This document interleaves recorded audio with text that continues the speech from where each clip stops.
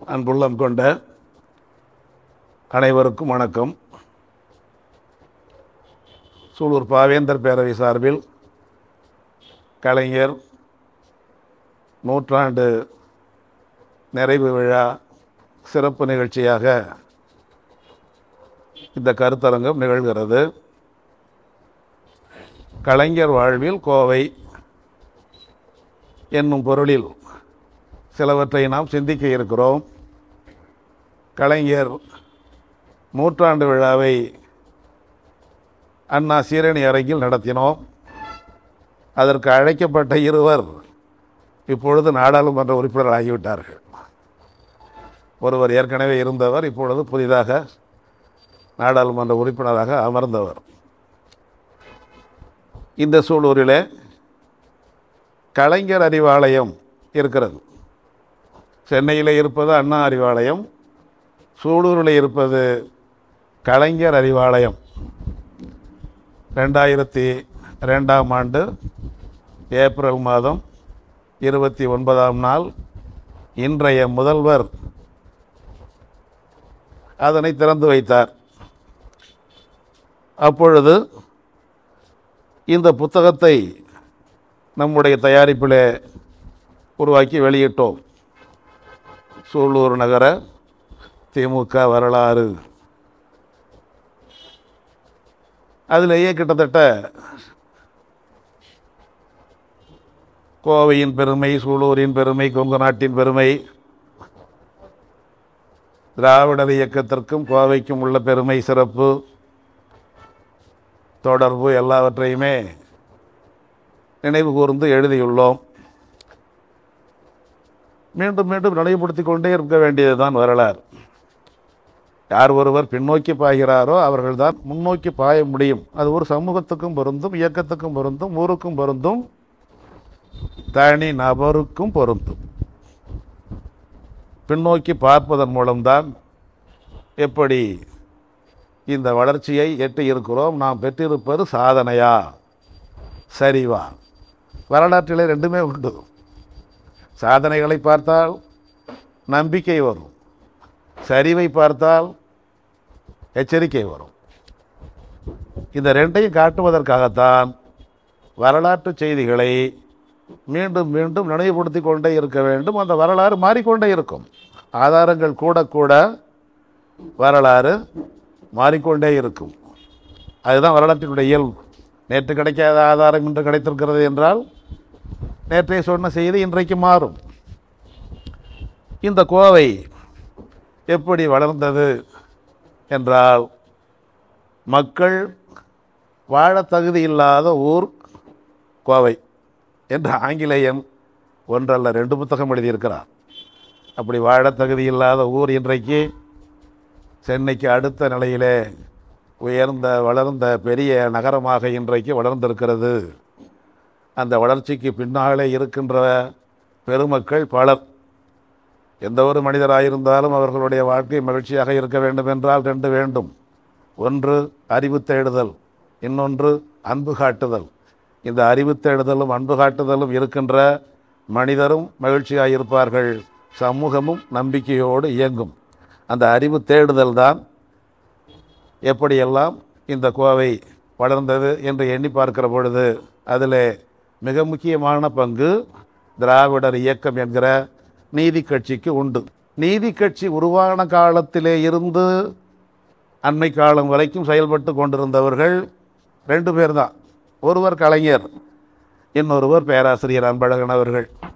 மற்றவர்களெல்லாம் நாற்பத்தி நாலுக்கு பின்னாலே இந்த இயக்கத்திற்குள்ளே வந்தவர்கள். இவர்கள் தான் நாற்பத்தி நாலுக்கு முன்னாலே இருந்து இந்த இயக்கத்துக்குள்ளே செயல்பட்டு வந்தவர்கள்.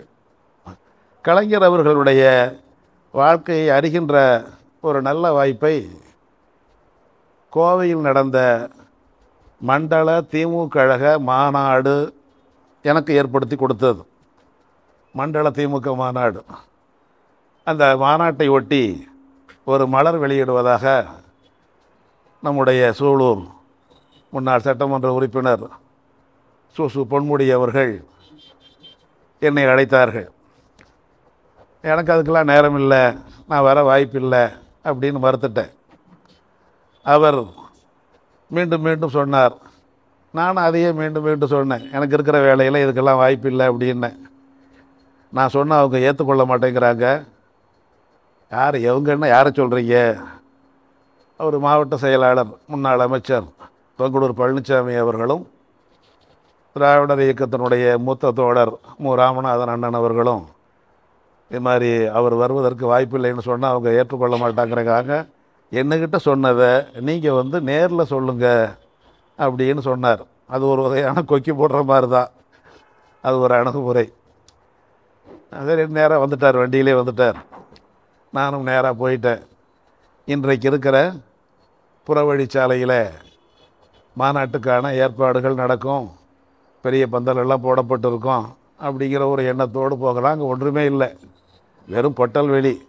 ஒரே ஒரு சின்ன பந்தல் போட்டு ஒரு சின்ன சாலை மட்டும் இருக்குது அதில் ராமநாதன் மட்டும் உட்காந்துருக்கிறார் இன்னும் கொஞ்ச நேரத்தில் பொங்கலூர் நான் பழனிசாமி அவர்களும் வந்து விடுவார் என்று அவர்கள் சொல்ல அப்பொழுது தான் அவர்கள் மனம் திறந்து சொன்னாங்க.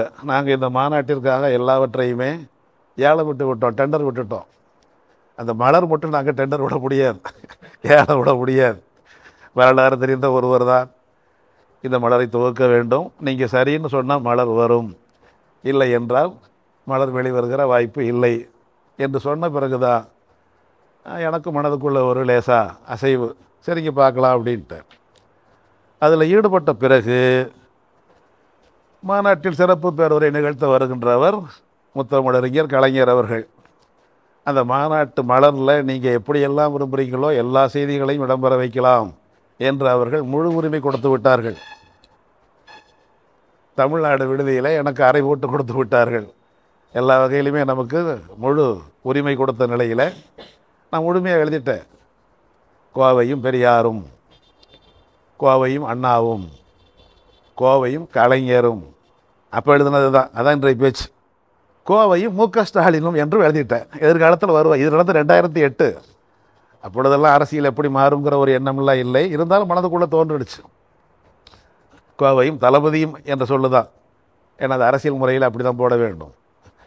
கோவையும் தளபதியும் இப்படி நான்கு பேரை பற்றியும் போட்டுட்டேன். கோவையும் கலைஞர்னு போட்டால் எப்போ கோவைக்கு வந்தார்? கலைஞர் வந்தது எப்போ? அந்த செய்திகளை எல்லாம் நாம் எடுக்க வேண்டும் என்று புத்தகங்கள் வாயிலாக நாம் தெரிந்து கொண்டிருப்பது கொஞ்சம். உண்மையிலேயே இருந்தது எப்படி? அவர் எங்கே இருந்தார்? அந்த வீட்டுக்கு போக வேண்டும். என்று பெங்களூர் பழனிசாமி அவர்களிடம் சொன்னார். அவர் உடனே இதுபோல் சிங்காநல்லூரில் தான் கலைஞர் இருந்தார். அந்த கலைஞர் இருந்த வீட்டுக்குரியவர் அண்ணாசாமி அண்ணாசாமியினுடைய பேரை அருள்ங்கிறவர் நம்ம இயக்கத்தில் தான் இருக்கிறார். நாளைக்கு அவரை உங்களோட வர சொல்கிறேன் நீங்கள் போங்க அந்த வீட்டுக்கு அப்படின்னார். அந்த அருள் இப்போ இருக்கிறார். அந்த அருளா அருளோட தான் சிங்காநல்லூரில் நம்ம வழக்கமாக எல்லோரும் போகக்கூடிய இடம் தான் அது. ஆனால் இந்த வீட்டில் தான் கலைஞர் இருந்தாருன்னு யாருக்கும் தெரியாது. அஞ்சல் நிலையத்துக்கு பின்னால் இருக்கிற வீடு. அந்த வீட்டுக்கு அழைத்து கொண்டு போன உடனே நான்கே அறை உள்ள ஒரு வீடு. அந்த வீட்டில் வீட்டுக்கு உரிமையாளர் அண்ணாசாமி இல்லை. ஆனால் அண்ணாசாமியினுடைய மனைவி இருந்தார். அது ஒரு பெரும் பேர் அதனால் மற்றவர்கள் சொல்ல முடியாத செய்திகளை எல்லாம் என்னால் சொல்ல முடிகின்ற வாய்ப்பு ஏற்பட்டது. அதுதான் காரணம். அண்ணாசாமி அவர்களுடைய மனைவி இருந்தார் உடல் நலக்குறைவோடு இருந்தார். ஆனால் என்னை அனுப்பி வச்சதே கலைஞர்னு நினச்சிட்டாங்க எல்லாருமே. அண்ணாசாமியினுடைய மகள் இருந்தார் மனைய மகன் இருந்தார் ரெண்டு மகன். எல்லோருமே இருந்தார்கள். நாங்கள் வரேன்னு தெரிஞ்ச உடனே எல்லாரையும் வர வச்சுட்டாங்க. அப்போ தான் ஒவ்வொரு செய்திகளாக சொல்லுகிற பொழுது கலைஞர் எழுதிய கடிதம் அவங்க வீட்டுக்கு இந்த வீட்டை விட்டு போன பிறகுமே நிறைய கடிதம் எழுதியிருக்கிறார். அந்த கடிதங்கள் எல்லாம் கொண்டாந்து முன்னால் போட்டாங்க. எல்லாம் படிக்க படிக்க எனக்கு வியப்பாக இருக்குது என்னங்க இதெல்லாம் விலை மதிப்பற்றது? இதெல்லாம் நீங்கள் எல்லார்ட்டையும் காட்டாதீங்க. இல்லை எடுத்துக்கிட்டு போங்க அப்படிங்கிறாங்க அவங்க. யார்கிட்டையும் கொடுக்காதீங்க. ஒவ்வொரு செய்தியும் படிக்கிற பொழுது அந்த செய்திகள் எல்லாம் மிக வியப்பான செய்திகள் உள்ளே இருந்த செய்திகள் எல்லாம். யார்கிட்டும் காட்ட வேண்டாம் யாரிடத்துல சொல்ல வேண்டாம். யாராச்சும் இப்படி ரொம்ப முக்கியமாக கேட்டால் கூட நகலச்சி எடுத்து நீங்கள் கொடுங்க. இன்றைக்கி வச்சுருக்கிறாங்க. அந்த அந்த குடும்பத்தில் தான் இருக்குது அவருடைய மகன் இறந்துட்டார். அவங்க வீட்டில் இருக்குது அந்த எல்லா கடிதங்களும் இருக்குது வரலாற்றினுடைய புதிய திறவுகோலை எல்லாம் அப்பொழுது தான் பார்த்தேன். ரெண்டாயிரத்தி எட்டாம் ஆண்டு பார்த்தேன். மண்டல திமுக வரலாறு தொகுப்பதற்கான முயற்சியில் ஈடுபட்ட பொழுது பார்த்தேன். அப்பொழுது கலைஞர் இருந்தார். இந்த கோவை நகரில் சிங்காநல்லூரில் இருந்தார். எப்படி சிங்காநல்லூருக்கு வந்தார்? ஈரோட்டிலே இருந்து ஈரோட்டுக்கு எப்பொழுது வந்தார்? அதெல்லாம் நான் தான் கண்டுபிடிச்சிருக்கிறேன் இன்னை வரைக்கும். ஒன்று பதினொன்று ஆயிரத்தி தொள்ளாயிரத்தி நாற்பத்தைந்திலே தான் அவர் ஈரோட்டுக்கு வந்தார். அதற்கு முன்னால் இங்கே புதுவையில். அதற்கு முன்னால் எங்கே? திருவாரூரில். அதற்கு முன்னால் எங்கே? வானவ பருவத்தில். அப்படியே படிப்படியாக வருது. அந்த அவருடைய வாழ்க்கையோடு அப்படியே தொடர்பில் அந்த கட்டம் எப்படி வருகிறது என்றால் ரெண்டாயிரத்தி பதினொன்றாம் ஆண்டு தேர்தல் பரப்புரைக்காக வந்தார் கலைஞர். கோவையில் வஉசி முகா மைதானத்தில் பேசினார். கோவையை நினைக்கிற பொழுது என்னுடைய மனத்திலே துயர நினைவுகளும் மகிழ்ச்சி நினைவுகளும் சேர்ந்து தாக்குகின்றன என்று சொன்னார். மகிழ்ச்சி நினைவுகள் பல பேருக்கு தெரிந்திருக்கும். ஆனால் துயர நினைவுகள் என்ன என்பது ஒரு சில பேருக்குத்தான் தெரியும். நான் தவழும் பருவத்தில் என்னை தாங்கிய தொட்டில் இந்த கோவை. நான் துள்ளி விளையாடும் பருவத்தில் நான் விளையாடிய தாழ்வாரம் இந்த கோவை என்றுதான் பேச்ச பேச்ச தொடங்கினார். அவர் நெகிழ்ந்து போயிட்டார். அந்த நெகிழ்ந்து போன நிகழ்ச்சிகளை நான் ரெண்டு வகையில் பார்க்குறேன். ஒன்று அங்கே எடுத்த செய்திகளை எல்லாம் அப்படியே எழுதிட்டேன்.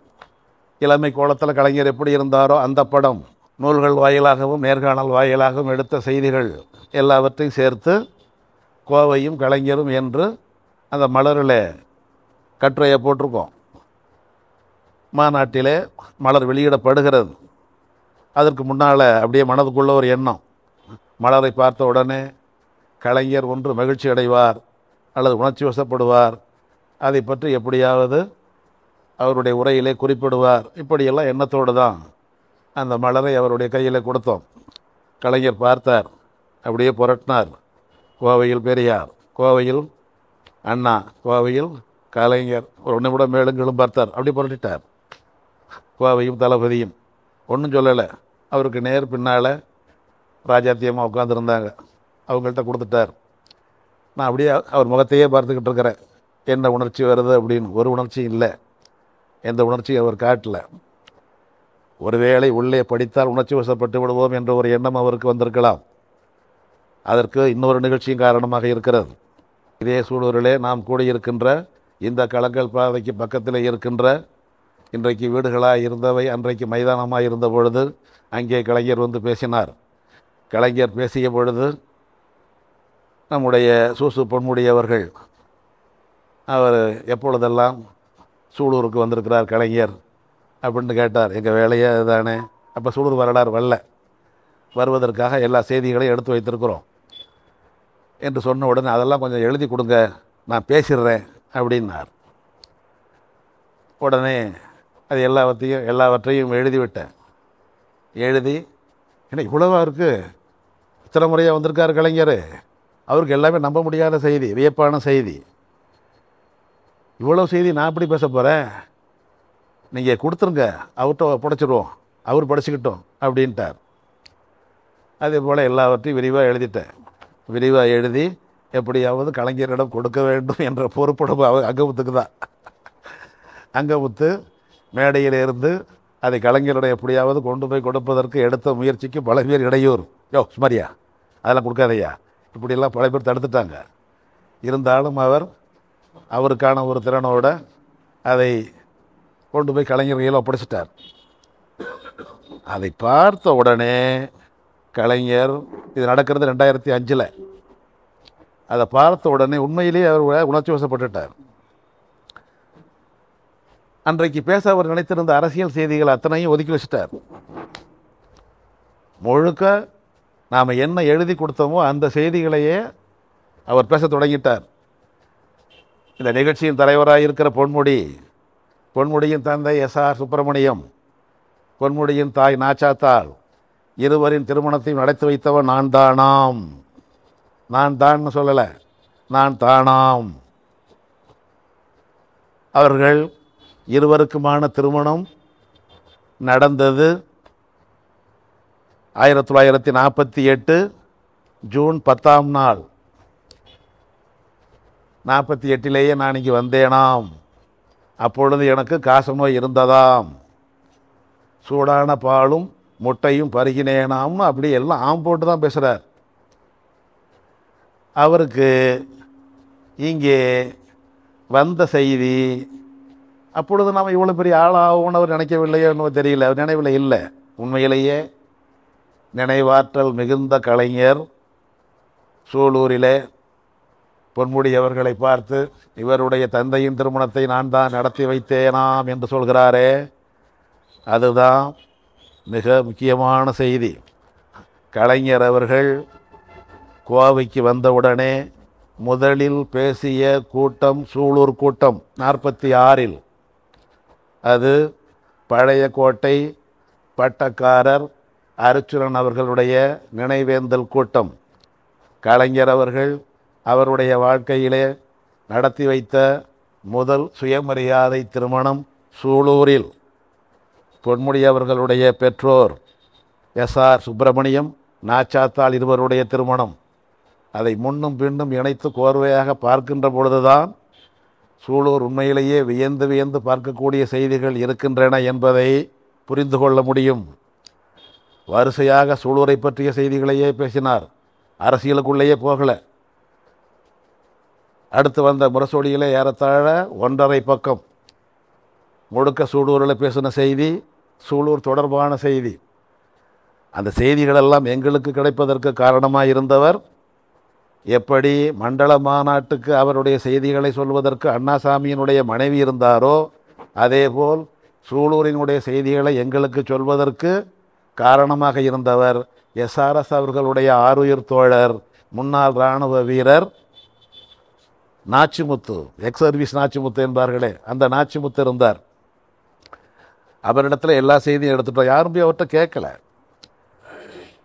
எல்லா செய்திகளையும் அவர் விரிவாக சொல்லிட்டார். அவர் விரிவாக சொன்னதோடு நான் அப்படியே கூட இன்னொன்று எழுதிட்டேன் அதிலேயே. இந்த செய்திகளை எல்லாம் எங்களுக்கு வழங்கிய முன்னாள் இராணுவ வீரர் நாச்சிமுத்து அவர்கள் மூன்று நாட்களுக்கு முன்னால் இயற்கை எய்தி விட்டார் என்ற ஒரு செய்தி அதில் அப்படியே குறிப்பாக கொடுத்துருந்தேன் அதையும் சொல்லிட்டார் கலைஞர். எஸ்ஆர்எஸ் அவர்களுடைய ஆரியர் தோழர் நாச்சிமுத்து அவர்கள் மூன்று நாளுக்கு முன்னால் இயற்கை எய்தி விட்டாராம் அப்படிங்கிற செய்தி அவருக்கான இரங்கலை தெரிவித்துக் கொள்கிறேன். பேச்சோடு பச்சா சொல்லிட்டார். சொன்ன பிறகு எஸ்கே நகரில் தான் அவர் இருந்து வாடகை வீட்டில் தான் இருந்தார். அவர் வீட்டுக்கு அணி அணியாக போகிறாங்க எல்லாரும். அந்த வீட்டில் உள்ளவங்களுக்கெல்லாம் வியப்பு. இறந்து போனப்போ கூட யாருமே வரலைங்க. இத்தனை நாள் யாருமே வரலைங்க. நேற்று என்னமோ கலைஞர் அவரை பற்றி சொல்லிட்டாராம். அதனால் எல்லாருமே இப்போ தான் வர்றாங்க துக்கம் விசாரிக்க வர்றாங்க அப்படின்னு ஒரு வகையில் அவங்களுக்கு மன நிறைவு பிறரை உயர்வு செய்வதும் வரலாற்றில் யாருக்கெல்லாம் முக்கியமான பங்கு உண்டோ அதை நினைவுபடுத்துவதும் தான் சரியான பணி. நான் நான் நான் என்று தன்னை பற்றி பேசுவதும் தனக்கான மாலை மதிப்பு என்று அதையே தேடிக்கொண்டிருப்பதுமான ஒரு போக்கு ஒரு இயக்கத்தை வளர்க்காது. ஒரு இனத்தை உயர்த்தாது. வேர்களை காக்க வேண்டும். வேர்களை காத்தால் விளைச்சல் உறுதி. அந்த வேர்களை காக்கின்ற பணியை தான் சூழூரில் நாம் ஓரளவு செய்கிறோம். தொடர்ச்சியாக செய்கிறோம். அப்படி தொடர்ச்சியாக செய்கின்ற பொழுது ஒவ்வொருவரும் நமக்கு உதவினார்கள். அதிலே ஒருவர் தான் அந்த முன்னாள். இராணுவ எல்லாருக்கும் தெரிந்த ஒருவர் தான். காரணம் இது எல்லாமே காணொளி. இன்றைக்கு காணொளி தான் உலக மொழி. இது உலகம் முழுக்க போகக்கூடிய செய்தி. அதை விரிவாக பேசிவிட்டார் கலைஞர். அதே இது நடந்தது ரெண்டாயிரத்தி ஐந்தில். அங்கே மண்டல மாநாடு நடக்கிறது. மூன்றாண்டு இடைவெளி ரெண்டாயிரத்தி எட்டில். அவர் மூடி வைத்ததற்கான காரணம் எனக்கு புரிந்துவிட்டது. ஒருவேளை மறுபடியும் பார்த்தால் இங்கே சூடுருளை ஏற்பட்ட அதே உணர்ச்சிமயமான ஒரு மனநிலைக்கு அவர் போய்விடுவார். அது மாநாடு ஏதாவது பொதுக்கூட்டம். அந்த மாநாட்டு நிகழ்ச்சிக்கு அவர் பல செய்திகளை நிரல்படுத்தி கொண்டு வந்திருப்பார். அந்த உணர்ச்சி வசப்பட்ட ஒரு சூழல் வந்துவிட்டால் பேச்சு திசை மாறிவிடும். அவர் செஞ்சது சரிதான் என்பது எனக்கு அப்போ புரியல. என்ன நம்ம இவ்வளோ பாடுபட்டு உருவாக்கியிருக்கிறோம்? அவர் சரியாக கூட பார்க்காம அப்படி பின்னால் கொடுத்துட்டாரேன்னு நினச்சேன். ஆனால் பின்னால் புரிஞ்சது. ரெண்டாயிரத்தஞ்சிலே சூலூரில் நடந்த அந்த ஒரு நிகழ்ச்சி ஒப்பிட்டு பார்க்குற பொழுது தான் அந்த நிலைமை வரக்கூடாது. ஏன்னா இவ்வளோ பெரிய மாநாடு பெரிய மாநாடு. அந்த மாநாட்டில் நான் எழுதிய மலர் அங்கே எல்லாருக்கும் வழங்கப்பட்டதுக்கு ஏகப்பட்ட போட்டி. இப்போ அமைச்சராக இருக்கிற எம்ஆர்கே பன்னீர்செல்வம்லாம் என்னுடைய பின்னாலேயே வந்தார். எப்படியாவது ஒரு மலர் எனக்கு ஏற்பாடு செய்து கொடுங்கள் என்றெல்லாம் வந்தார். நான் எந்த மலர் போட்டாலுமே ஒரு முறையை பின்பற்றுவேன். ஒரு மலர் வெளிவரும். வெளிவருகிற பொழுது எந்த நிகழ்ச்சியோ அந்த நிகழ்ச்சியிலே அதை ஒருவர் வெளியிட ஒருவர் பெற்றுக்கொள்ள எல்லாம் அப்படியே செய்திகள் நடக்கும். எல்லாருமே ஆளுக்கு ஒரு மலரை வைத்துக்கொண்டு அப்படியே படம் எடுப்பார்கள். மொத்தத்தில் வெளியிடுவது ஒரு முந்நூறு படிக்குள்ளே தான் போடுவோம். அந்த மலரும் அப்படி தான் போட்டோம். முந்நூறு படி தான் போட்டோம். மிச்சமுள்ள மற்ற செய்திகளை எல்லாம் அந்த நிகழ்ச்சியினுடைய முழு படம் எல்லாருடைய முழு பேச்சு அவற்றையெல்லாம் திரட்டி இணைத்த பிறகுதான் ஆயிரமா ரெண்டாயிரமா அதற்கு மேலா என்று விரிவான மலரை போடுவது வழக்கம். நான் எல்லா மலருமே அப்படி தான் போட்டிருக்கிறேன். அந்த மலரை பார்க்கின்ற பொழுது அந்த நிகழ்ச்சியினுடைய முழு வடிவம் கிடச்சிடும் நமக்கு. அதே போல் அந்த மாநாட்டிலே பேசினவங்களுடைய எல்லாருடைய பேச்சு படங்கள் எல்லாவற்றையும் சேர்த்து மறுபடியும் ஒரு முறை தயாரித்தோம். ஆனால் தயாரித்தாலுமே அது அன்றைக்கு அமைச்சர் பதவியிலே இல்லாமல் இருந்தார் பொங்கலூர் அவர்கள். அதற்கு பிறகு அவருக்கு அமைச்சர் பதவி கிடைத்து விட்டது. அதனால் அந்த அதில் யாரும் ஆர்வம் காட்டுவதற்கு கொஞ்சம் வாய்ப்பு குறைவாக போனதனால் அந்த ரெண்டாவது மலர் என்னிடம் மட்டும்தான் இருக்குது நாங்கள் மூணே மலர் தான் போட்டோம். அண்ணன் ராமநாதன் அவர்களிடத்தில் ஒன்று அவர் இல்லை. அமைச்சர் பொங்கலூர் அவர்களிடத்தில் ஒன்று. அவர் எதையுமே முறையாக பாதுகாத்து வைப்பது ரொம்ப கடினம். இன்னொன்று என்கிட்ட தான் இருக்குது. எல்லா செய்திகளும் உள்ளது. மற்றவை நாங்கள் ஒரு முந்நூறு படி போட்டது மட்டும்தான் மற்றவங்க எல்லாரும் வைத்திருப்பாங்க அந்த விழாவில். அந்த காட்சிகளை பார்த்த உடனே கலைஞர் போட்ட சட்டை கருப்பு சட்டை. அந்த கருப்பு சட்டையை வாழ்நாள் முழுவதும் கலைஞர் அவர்கள் மிக பாதுகாத்து வைத்திருந்தார். அவருக்கு உதவியாளர் நித்யானந்தம் என்று ஒருவர் கலைஞர் பல செய்திகளை வெளிப்படையாக சொல்வதில்லை. கலைஞருடைய உதவியாளராக இருந்தவர் நித்யானந்தம் என்பவர். அவர் அருந்ததிய தோழர். எனக்கு உதவியாய் என்னுடைய ரெண்டு கைகளையும் போட்டு தோல் மேல் பற்றி கொண்டு வருகின்ற தோழனாய் இருப்பது நித்தியானந்தம் என்ற ஒரு அருந்ததியத்துடன் என்று அவர் சொன்னதே இல்லை. அந்த நித்தியானந்தத்தை தான் கூப்பிடுவார். நித்தி ஐயா எனக்கு எடுத்து கொடுத்தாரே கருப்பு சட்டத்தை எடுத்துக்கிட்டு வா என்பார். மிக நெஞ்சுக்கு நெருக்கமானவர்களை பார்க்கின்ற பொழுது மட்டும் கலைஞர் அவர்கள் மிக நைந்து போன நிலையிலே இருக்கின்ற அந்த கருப்பு சட்டை கொண்டு வர சொல்லி காட்டுவார். ஐயா எனக்கு எடுத்து கொடுத்தார். நாற்பத்தி ஆறில் எடுத்து கொடுத்தார். நாற்பத்தி ஆறிலே கலைஞர் எங்கே இருந்தார்? ஈரோட்டில். வந்தது எப்பொழுது? நாற்பத்தி ஐந்து நவம்பர் மாதம் ஒன்றாம் நாள்.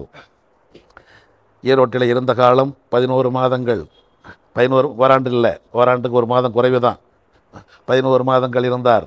அந்த பதினோரு மாதங்கள் அவர் இருந்த காலத்திலே தான் குடியரசு இதழின் துணை ஆசிரியராக இருந்தார் அவருக்கு வழங்கப்பட்ட ஊதியம் நாற்பது ரூபாய். இன்றைக்கு குடியரசினுடைய இதழ்களை படித்தால் எங்கே கலைஞர்? மூனா போட்டிருப்பாரோ? மூக்கா போட்டிருப்பாரோ? மு கருணாநிதியின் போட்டிருப்பாரோ? அவர் போட்டிருக்கிற பெயர் வேறு. அதில் சேரடி என்று போட்டிருக்கும் இல்லை என்றால் விமானி என்று போட்டிருக்கும். விமானி என்று போட்டிருப்பதிலே பொது தலைப்பு குண்டுவீச்சு என்று போட்டிருக்கும். அந்த குண்டுவீச்சு என்பதன் கீழே விமானி என்று எழுதியிருப்பவர் கலைஞர். சேரன் என்ற புனை பெயரில் எழுதியிருப்பவர் கலைஞர்.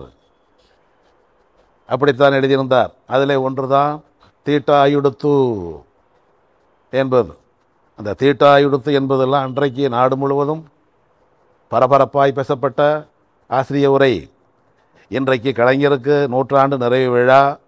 கலைஞரை பற்றி புரிந்து கொள்ள வேண்டும் என்றால் கலைஞரினுடைய இந்த எழுத்துக்களை சரியான வகையிலே அறிமுகப்படுத்தவும் வேண்டும். அறிமுகப்படுத்தி கொள்ளவும் வேண்டும். அது என்ன தீட்டாயுடுத்து என்று? இன்றைக்கு இருக்கிற இளைய தளபதி உதயநிதி ஸ்டாலின் அவர்கள் சனாதனம் என்று சொன்னார். சனாதனம் என்று சொன்ன உடனே வடநாட்டு சாமியார்கள் எல்லாம் கொக்கரித்தார்கள். சனாதனம் என்ற சொல்லை திரும்பப் பெற வேண்டும் என்றெல்லாம் கூட அவருக்கு எச்சரிக்கை விடுவது போல எல்லாம் அச்சுறுத்தினார்கள். அவர் கொஞ்சமும் மசியவில்லை. அந்த உறுதி அந்த சனாதனம் என்பது தான் இதுதான் தீட்டாயுடுத்து நீ யார்? நீசன். உன் மொழி எது? நீச பாஷை நீச மொழி. நான் இப்படி நீசன்? நீங்கள் நீசன் தான் இன்றைக்கி நீசன் தான் இங்கே சூடூரில் இருக்கிற ஈஸ்வரன் கோயிலாகட்டும் பெருமாள் கோயிலாகட்டும் இல்லை மருதமலை முருகன் கோயிலாகட்டும் எந்த கோயிலுக்குள்ளேயும் உங்களால் உள்ளே நுழைய முடியுமா? மசூதிக்குள்ளே உள்ளே நுழைய முடியும். தேவாலயத்துக்குள்ளே உள்ளே நுழைய முடியும். ஆனால் இந்து மத கோயிலுக்குள்ளே உள்ளே நுழைய முடியாது. ஆனால் சிறுதெய்வ கோயிலாக இருக்கிற இங்கே இருக்கிற அங்காளம்மன் கோயில் மாரியம்மன் கோயில் ஐயனார் கோயில் அதுக்குள்ளே நுழைய முடியும். அந்த பெருந்தெய்வ வணக்கம் ஐயர் பூசை பண்ணுறாரே அர்ச்சகர். அந்த கோயிலுக்குள்ளே நீங்கள் யார்? நீசர்கள் சூத்திரர்கள் உள்ளே நுழைவதற்கான அருகதை இன்றும் இல்லாதவர்கள். நாலாஞ்சாதி அதுக்கு பேர் சனாதனம்னு பேர். நீங்கள் பேசுகிற மொழிக்கு அங்கே இடம் கிடையாது. நமகா நமகா நமகா என்பார்கள். எதற்காக நமக வேண்டும்? ஏன் போற்றி போற்றி என்று சொல்லக்கூடாதா? சர்வ சக்தி உள்ள சாமிக்கு எங்களுடைய மொழி புரியாதா? தேவபாஷை கடவுளுக்கு புரிந்தது சமஸ்கிருதம் மட்டும்தான். இன்றைக்கு நடக்குதே. தமிழில் ஒருவர் திருவையாறிலே இசை மேடையிலே பாடிவிட்டாரா? பாடியவர் தண்டபாணி தேசிகர். நந்தனார் திரைப்படத்தில் கதாநாயகனாக நடித்தாரே அந்த தண்டபாணி தேசிகர். இசை பேரறிஞர் தண்டபாணி தேசிகர். பாடிய மொழி தமிழில். ஒரு சூத்திரன் தமிழில் பாடியதனால் மேடை தீட்டாயிடுத்து அதான் தீட்டாயிடுத்து என்று அறியக்கூடிய ராமானுஜர் ஐயங்காரும் மற்றவர்களும் மேடை ஏற மறுத்து விட்டார்கள். அந்த தீட்டை கழிக்கணும் நாங்கள் தமிழில் பேசினால் தீட்டாயிடுச்சான் தமிழன் நுழைஞ்சாலும் தீட்டு. எப்படி? கலைஞர் அவர்கள் ஆயிரத்தி தொள்ளாயிரத்தி அறுபத்தி ஒன்பதில் முதலமைச்சரானார். எழுபத்தி ஒன்றில் ஒரு சட்டம் கொண்டு வந்தார்.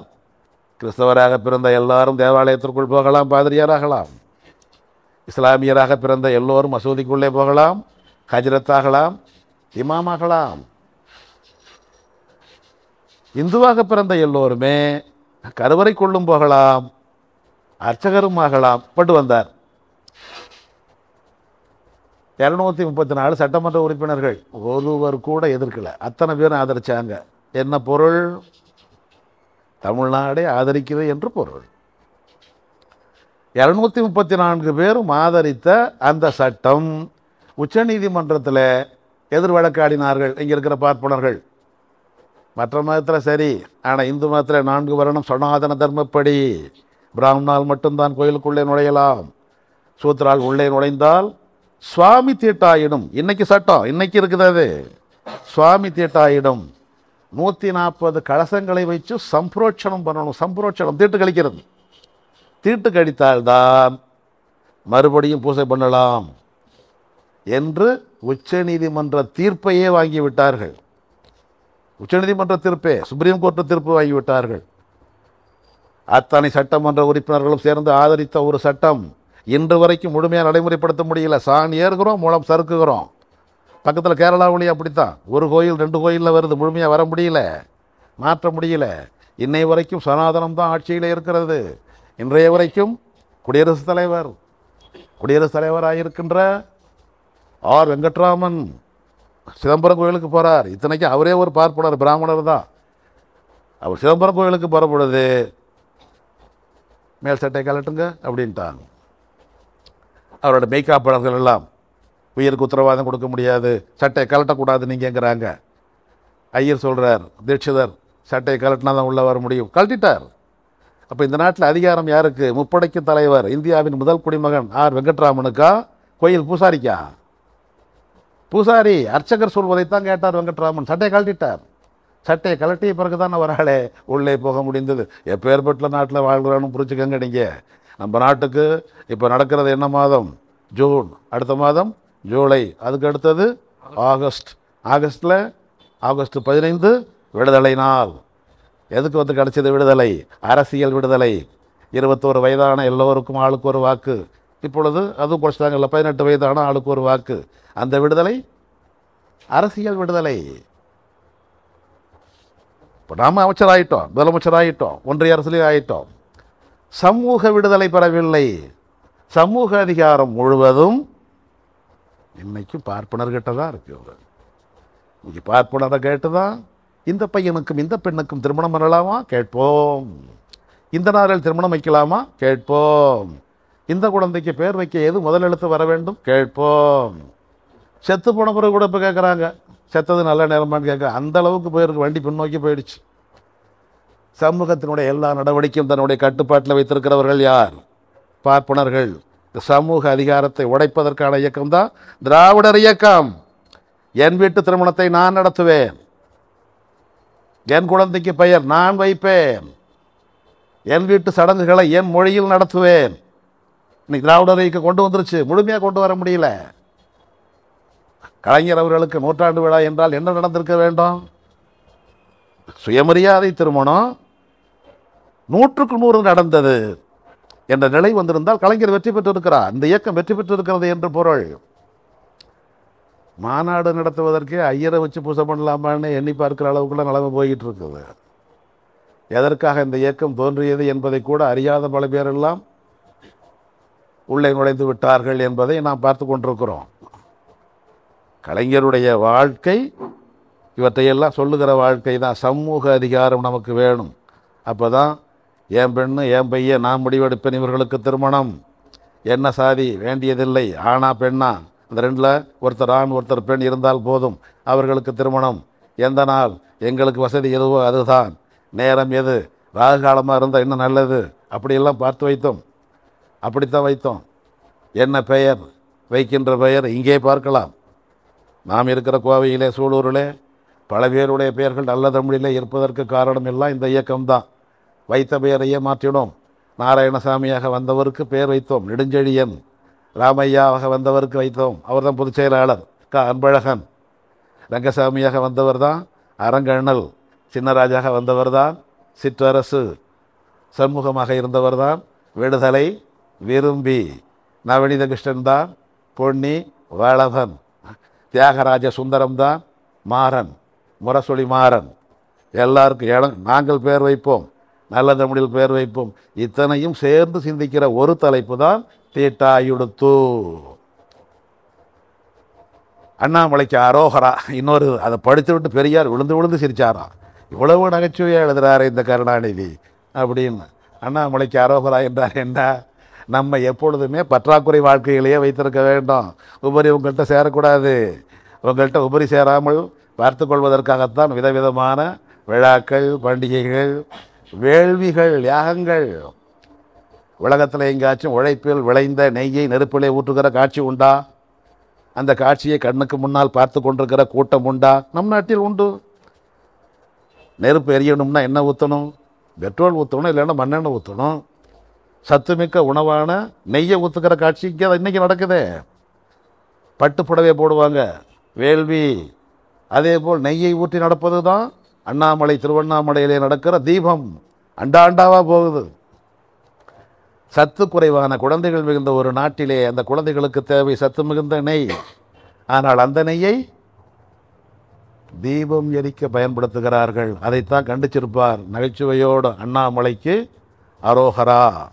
இப்படியெல்லாம் எழுதிய அந்த கலைஞர் அப்படி எழுதி கொண்டு இருந்த காலத்திலே தான் அவரை திரைப்படத்துறையிலே ஈடுபடுத்துகின்ற விருப்பம் அவருடைய மைத்துனருக்கு இருந்தது. மைத்துனர் மிக புகழ் வாய்ந்த பின்னணி பாடகர் இசை அமைப்பாளர். ரெண்டுமே அவர்தான். சிதம்பரம் ஜெயராமன். சிதம்பரம் ஜெயராமன் கலைஞர் அவர்கள் ரெண்டு பேரும் மாமன் மைத்துடன் முறையாக ஆனது எப்படி? அது ஒரு வியப்பான செய்தி தான் கலைஞர் அவர்கள் உயர்நிலைப் பள்ளியிலே படித்து கொண்டிருந்த பொழுதே மாணவர் அமைப்பை உருவாக்கிவிட்டார். இதழ் நடத்த தொடங்கிவிட்டார். இதழ் நடத்தியது முதல்ல மாணவர் நேசன். அதான் முதல் இதழ். பிறகுதான் முரசொலி. அந்த முரசொலி என்பதும் கையெழுத்து எழுதான் காலனா. ஐம்பது இதழ் எழுதுவாராம். கையாலேயே எழுதுவாராம். காலனா. மண்ணை நாராயணசாமி அவர்கள் சொல்ல நானே கேட்டிருக்கிறேன். நான் நாலனா கொடுத்து வாங்கினேன். எல்லாம் காலனா காலனா. ஒரணாவுக்கு நாலு. அப்போ நான்கு நாவுக்கு பதினாறு இதழ் வாங்கினேன் என்று மண்ணை நாராயணசாமி சொல்லுவார். அப்படி ஐம்பது இதழ்களை கையாலேயே எழுதுகின்ற கலைஞர் முதல் மாணவர் அமைப்பை உருவாக்கினார் நாற்பத்தி ஒன்றில். உயர்நிலைப்பள்ளி மாணவர். அவரால் இயங்காமல் இருக்கவே முடியாது. அவருடைய வாழ்க்கை வியப்பான வாழ்க்கை. எல்லாமே அவருடைய திருமணம் நடந்தது இருபது வயது. ஈரோட்டுக்கு வந்தது இருபத்தி ஒரு வயது. கோவைக்கு வந்தது இருபத்தி ரெண்டு வயது. நாடு போற்றும் மாபெரும் எழுத்தாளராக அவர் ஆனது இருபத்தி எட்டு வயது. அப்பொழுது புதுமுகம் சிவாஜி கணேசன். நாடு போற்றும் எழுத்தாளர் கலைஞர் எழுதிய பராசக்தி என்பது தான் அவருடைய காலம் ரொம்ப வியப்பானது. அப்படி அவர் மாணவர் அமைப்பை உருவாக்கினார். தமிழ்நாடு தமிழ் மாணவர் மன்றம். இதுதான் திராவிடர் இயக்கத்தின் அல்லது திராவிடர் கழகத்தின் முதல் மாணவர் அமைப்பு. நாற்பத்தி ஒன்றில். வராண்டாயிடுச்சு. முதலாண்டு விழா வைக்கணும். முடிவு பண்ணிட்டாங்க.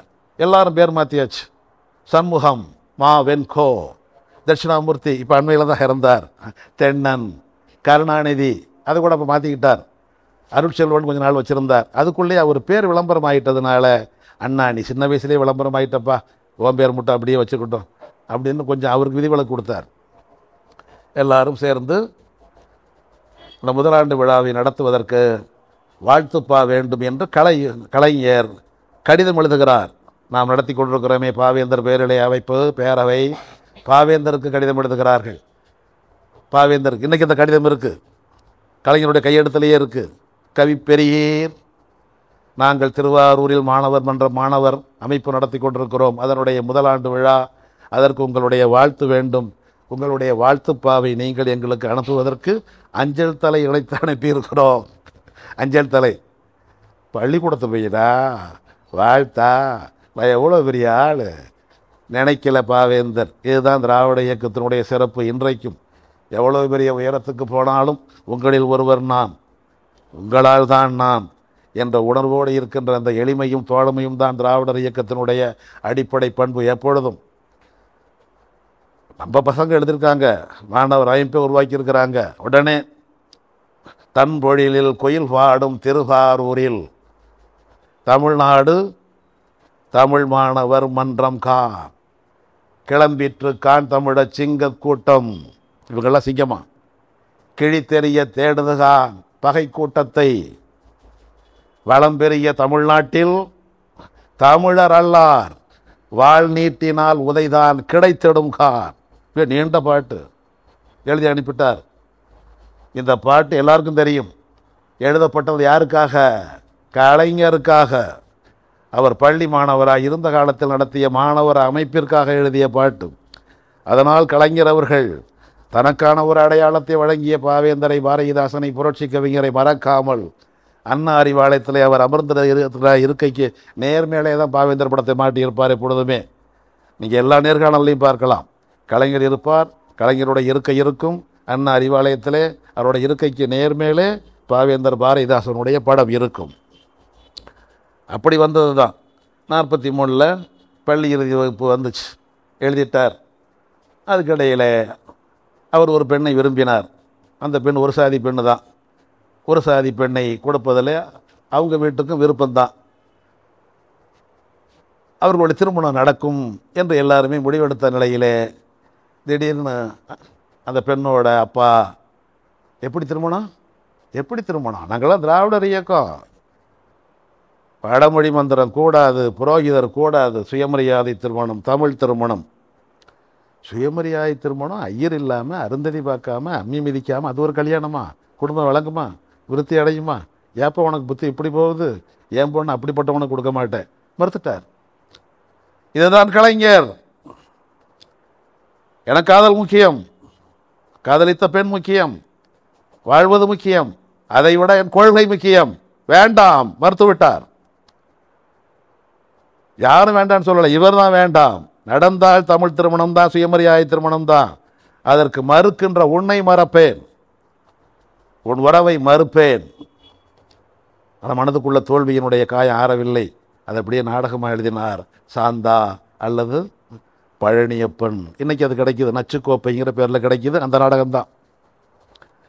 திராவிடர் இயக்கம் செய்த செயல் கலை வடிவிலே கருத்துக்களை சொல்கிற இப்போ நம்ம பேசுகிறோம் பேச்சு என்பது ஒரு- இது ஒரு ஆர்வமூட்டுதல் தான். இதை விட பெரிய ஆர்வமூட்டுதல் கலை வடிவம். அந்த நாடகத்தை கைப்பற்றி கொண்ட ஒரே முற்போக்கு இயக்கம் திராவிடர் இயக்கம்தான் அன்னைக்கு நாடகத்தின் மூலம்தான் எல்லா வகையான பிற்போக்கு கருத்துக்களையும் பரப்பினார்கள். அது புராண நாடகம். அப்படி தான் பரப்புனாங்க. அந்த புராண நாடகம் அது நடந்த பிறகு அதுக்கு பின்னால் கொஞ்சம் முற்போக்காக வேணும். வரலாற்று நாடகம். அது பெருதான் சரித்திர நாடகம் ஒன்று வரலாற்று நாடகம். ரெண்டாவது கொஞ்சம் முன்னேற்றம். அப்புறம் வந்துச்சு அப்போ நாட்டுக்கு விடுதலை வேண்டும் என்ற அந்த கொள்கை இருந்ததுனால மூணாவது தேசிய நாடகம் வந்துச்சு. நாலாவது நடக்கிற செய்தியை பேசப்பா. நான் வாழ்ந்துக்கிட்டு இருக்கிற வாழ்க்கையை காட்டப்பா. அது சமூக நாடகம் வந்தது. திராவிடர் இயக்கம் வழங்கியது தான் இந்திய துணைக்கண்டத்திற்கே சமூக புரட்சி நாடகம். சமூக புரட்சி நாடகம் என்ற ஒரு வடிவத்தை வழங்கியது திராவிடர் இயக்கம். சமூக புரட்சி நாடகத்தை முதன் முதல் வழங்கியவர் புரட்சி பாவேந்தர் பாரதிதாசன். அந்த நாடகம் இரணியன் அல்லது இணையற்ற வீரன். ஆயிரத்தி தொள்ளாயிரத்தி முப்பத்தி நாலில் செப்டம்பர் மாதம் ஒன்பதாம் நாள் திராவிட நடிகர் சங்கம் சார்பில் சென்னையில் நடந்தது. பாரதிதாசனுக்கு மோதிரம் போட்டார் பெரியார். நீதாயா எல்லாரும் பேசிக்கிட்டு இருக்கிறோம் எழுதிக்கிட்டு இருக்கிறோம் நாடகமே போட முன் வந்துட்ட என்று கடைசி வரை தொடக்கப்பள்ளி ஆசிரியராகவே இருந்தவர் தான் பாரதிதாசன் மூணாம் வகுப்பு ஆசிரியர் தான் அவர். இன்றைக்கு அவர் பெயரில் இருப்பது பல்கலைக்கழகம். ஆனால் அவர் பல்கலைக்கழக ஆசிரியர் இல்லை கல்லூரி ஆசிரியர் இல்லை உயர்நிலைப்பள்ளி ஆசிரியர் கூட இல்லை. தொடக்கப்பள்ளி ஆசிரியர் தான் அவர். அவர் தான் எழுதினார் இரணியன் அல்லது இணையற்ற நாடகம். இந்த புராண இதிகாச கதைகளையே வைத்துக்கொண்டு அதை அப்படியே மாற்றி நம்முடைய கருத்தோடு எழுதுவது. புதுமையான கருத்தோட முற்போக்கு கருத்தோட சிந்திக்க வைக்கிற மாதிரி எழுதுவது. என்ன எல்லாருக்கும் தெரிஞ்ச கதை தான். இரணியன் ஒருத்தர் இருப்பான். அவன் வரம் வேண்டிக் கொள்வான். நான் பகலிலும் சாகக்கூடாது இரவிலும் சாகக்கூடாது. விலங்கும் கொள்ளக்கூடாது மனிதனும் கொள்ளக்கூடாது. வீட்லேயும் சாகக்கூடாது வெளியிலும் சாகக்கூடாது. இப்படி எல்லாம் வர வேண்டிக் கொள்வான். அதனால் அவனுக்கு சாவே நமக்கு வராது என்ற எண்ணம் வந்ததுனாலே அளவுக்கு மீறி நடந்து கொள்வான் அப்படின்னு அந்த கதை போகும். இவனை எப்படியாவது கொள்ள வேண்டும் என்று விஷ்ணு அவதாரம் எடுத்து மனிதனும் இல்லாமல் விலங்கும் இல்லாமல் அதுதான் நரசிங்க அவதாரம். வீடும் இல்லாமல் வெளியும் இல்லாமல் வீட்டினுடைய நிலைவாசல் நிலைப்படியிலே வைத்து காலையும் இல்லாமல் மாலையும் இல்லாமல் அந்தி பொழுதில் அவருடைய உடம்பை வகிர்ந்து சம்சாரம் பண்ணுவார் கொலை செய்து விடுவார் அப்படின்னு கதை. இதுதான் கதை. இது இரணிய வதைன்னு பேர். இதை எடுத்துக்கிட்டார் பாரதிதாசன். அவர் கதையில் இரணியம் வருவான். இந்த நரசிம்ம அவதாரம் வரும். நரசிம்ம அவதாரம் வருகிற பொழுது உடனே இரணியன் கேட்பான் நரசிம்ம அவதாரம் வந்த உடனே நாராயணா. அவர் நான் நாராயண நாராயண நாராயணா. ஒ- ஒரு தூணை உதப்பார். தூணை உதச்ச உடனே தூண் பிளக்கும். தூணுக்குள்ளே இருந்து நாராயணன் வருவார். கதையே அப்படி தான் நாடகத்துலேயும் அப்படி தான் அது வரைக்கும் ஏற்கனவே உள்ள கதை. இதுக்கு பிறகு தான் முற்போக்கு கதை புரட்சி கதை பகுத்தறிவு கதை. தூணை பி- நாராயணா தூணை பிழந்தேன் நீ வந்தாய். தூணை உதைத்தேன் நீ வந்தாய். உன்னை உதைக்கிறேன் யாரடா வருவார்னு நாராயணனை உதைப்பார். அவர் சுருட்டுக்கிட்டு போய் விடுவார். எதை உதைச்சாலும் வருவாரே. இதுதான் இந்த இரணியன் அல்லது இணையற்ற வீரன் என்ற நாடகம் முப்பத்தி நாலில் நடந்துச்சு முதல் முறையாக அதுதான் பகுத்தறிவு நாடகம். அதை பார்த்து தான் அண்ணா உருவானார். அவர் எழுதியது தான் சந்திரோதயம். அந்த பாரதிதாசன் வழியில் வந்தவர் தான் அறிஞர் அண்ணா. அவருக்கு பிறகு வந்தவர் தான் கலைஞர். அவர் எழுதியது தான் சாந்தா அல்லது பழனியப்பன். அதை விலை போட்டு வாங்கியவர் நாகை கோபால் என்பவர். அன்னைக்கு நாகப்பட்டினம் பலவற்றிலே மிகவும் முற்போக்காக வளர்ச்சியடைந்த நகராக இருந்து இப்போ ஒரு சின்ன ஊராக மாறி போச்சு அது. அந்த நாகப்பட்டினத்தைச் சேர்ந்த கோபால் என்பவர் தான் திராவிட நடிகர் சங்கம். திராவிட அமைப்பு எல்லாத்துலேயும். திராவிட மருத்துவர் திராவிட நடிகர் திராவிட ஓட்டுநர் எல்லாத்துலேயும் திராவிட திராவிட ஒன்றை விடலை. அப்படி வச்சுருந்தோம். இந்த திராவிட நடிகர் சங்கம் என்ற சார்பில் அந்த நாடகத்தை நூறு ரூபாய் கொடுத்து வாங்கினார் அந்த கோபால். அதெல்லாம் கலைஞர் மறக்கவே இல்லை குறிப்பிட்டுக்கிட்டே இருப்பார். நாகை கோபால் தான் என்னுடைய நாடகத்தை நூறுரூவா கொடுத்து வாங்கினார். அதில் நானும் நடித்தேன். என்னுடைய வேடம் சிவகுரு சிவகுருங்கிற வேடத்தில் தான் அவர் நடித்தார் அந்த சிவகுருங்கிற வேடத்தில் நடிக்கிற பொழுது தான் அதற்கு முன்னாலேயே இவருக்கான திருமணம் நடந்துருச்சு. நாற்பத்தி நாலில் விரும்பின பெண்ணு தான் கிடைக்கல.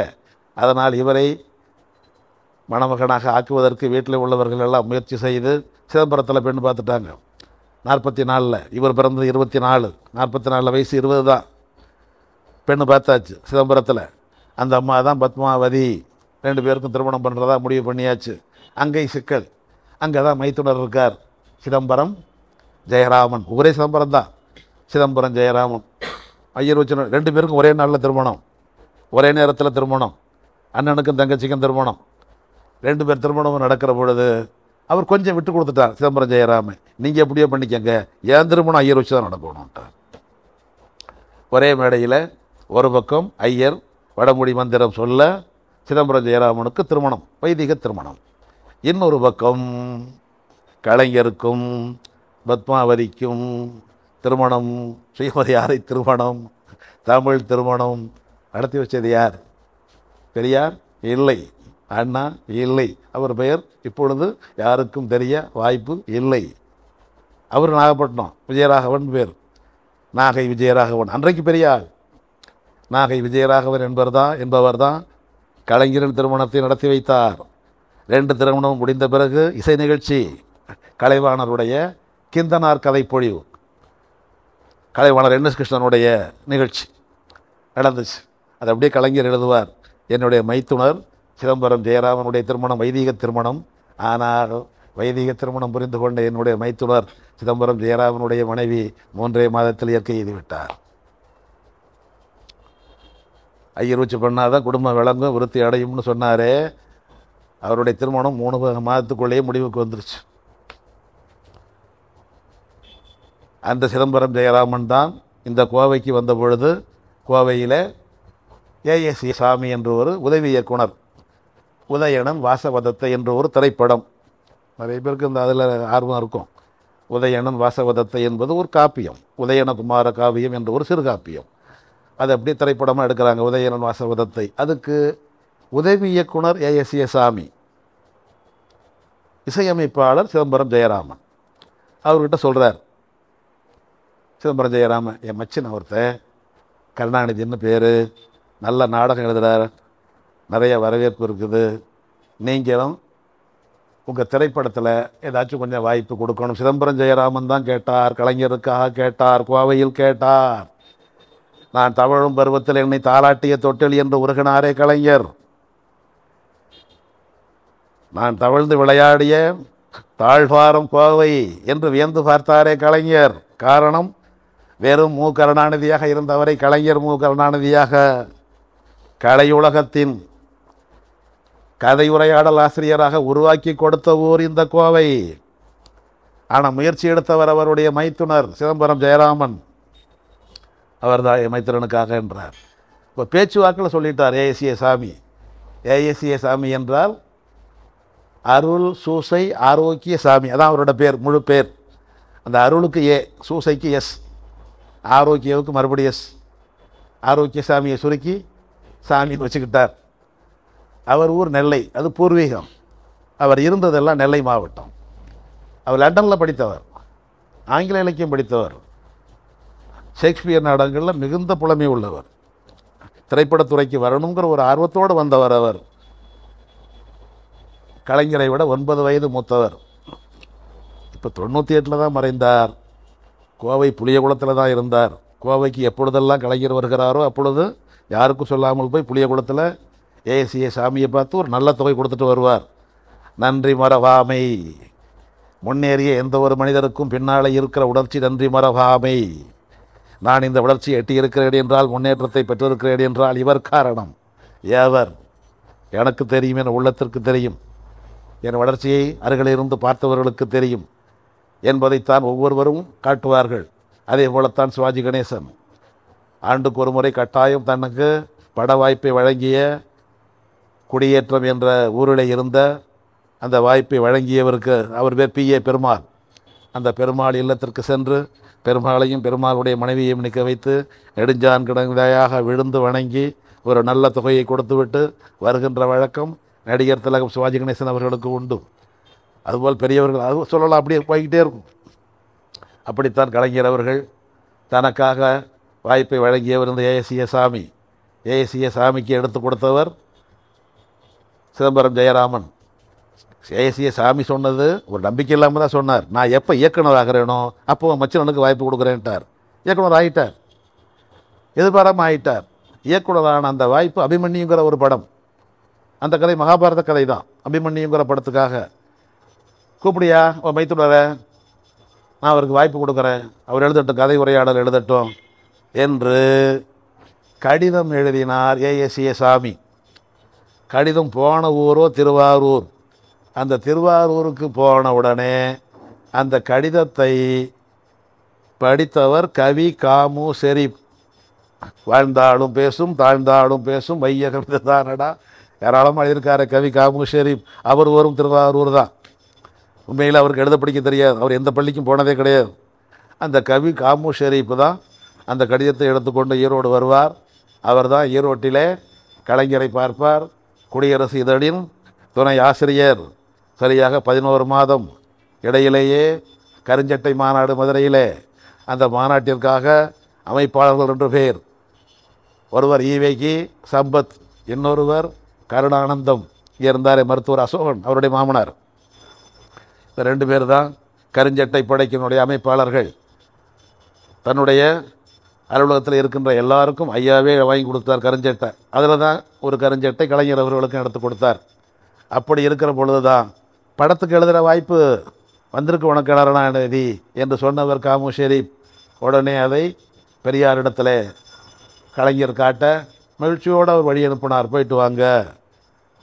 அப்படி தான் போனார். மகிழ்ச்சியோடு வந்தார். இந்த மகிழ்ச்சியோடு வந்தது கோவைக்கு வந்தார். இந்த கோவைக்கு வருவதற்கு முன்னாலே ஈரோட்டுக்கு எப்படி வந்தாருங்கிற அதையும் தெரிந்து கொள்ளணும். இந்த ஈரோட்டுக்கு அவர் வந்தது காரணம் சாந்தா அல்லது பழனியப்பனுங்கிற அந்த நாடகம் போட்டு கொண்டிருந்த பொழுது எங்கள் ஊரிலையும் வந்து போடுங்கள் என்று புதுச்சேரியில் உள்ளவங்க அழைத்தார்கள். புதுவை. அந்த புதுவைங்கிற பெயரை உச்சரிக்க தெரியவில்லை. பிரெஞ்சுக்காரனுக்கு. அவள் பொந்திச்சேரி அதான் அன்றைக்கி பாண்டிச்சேரின்னு ஆயிடுச்சு.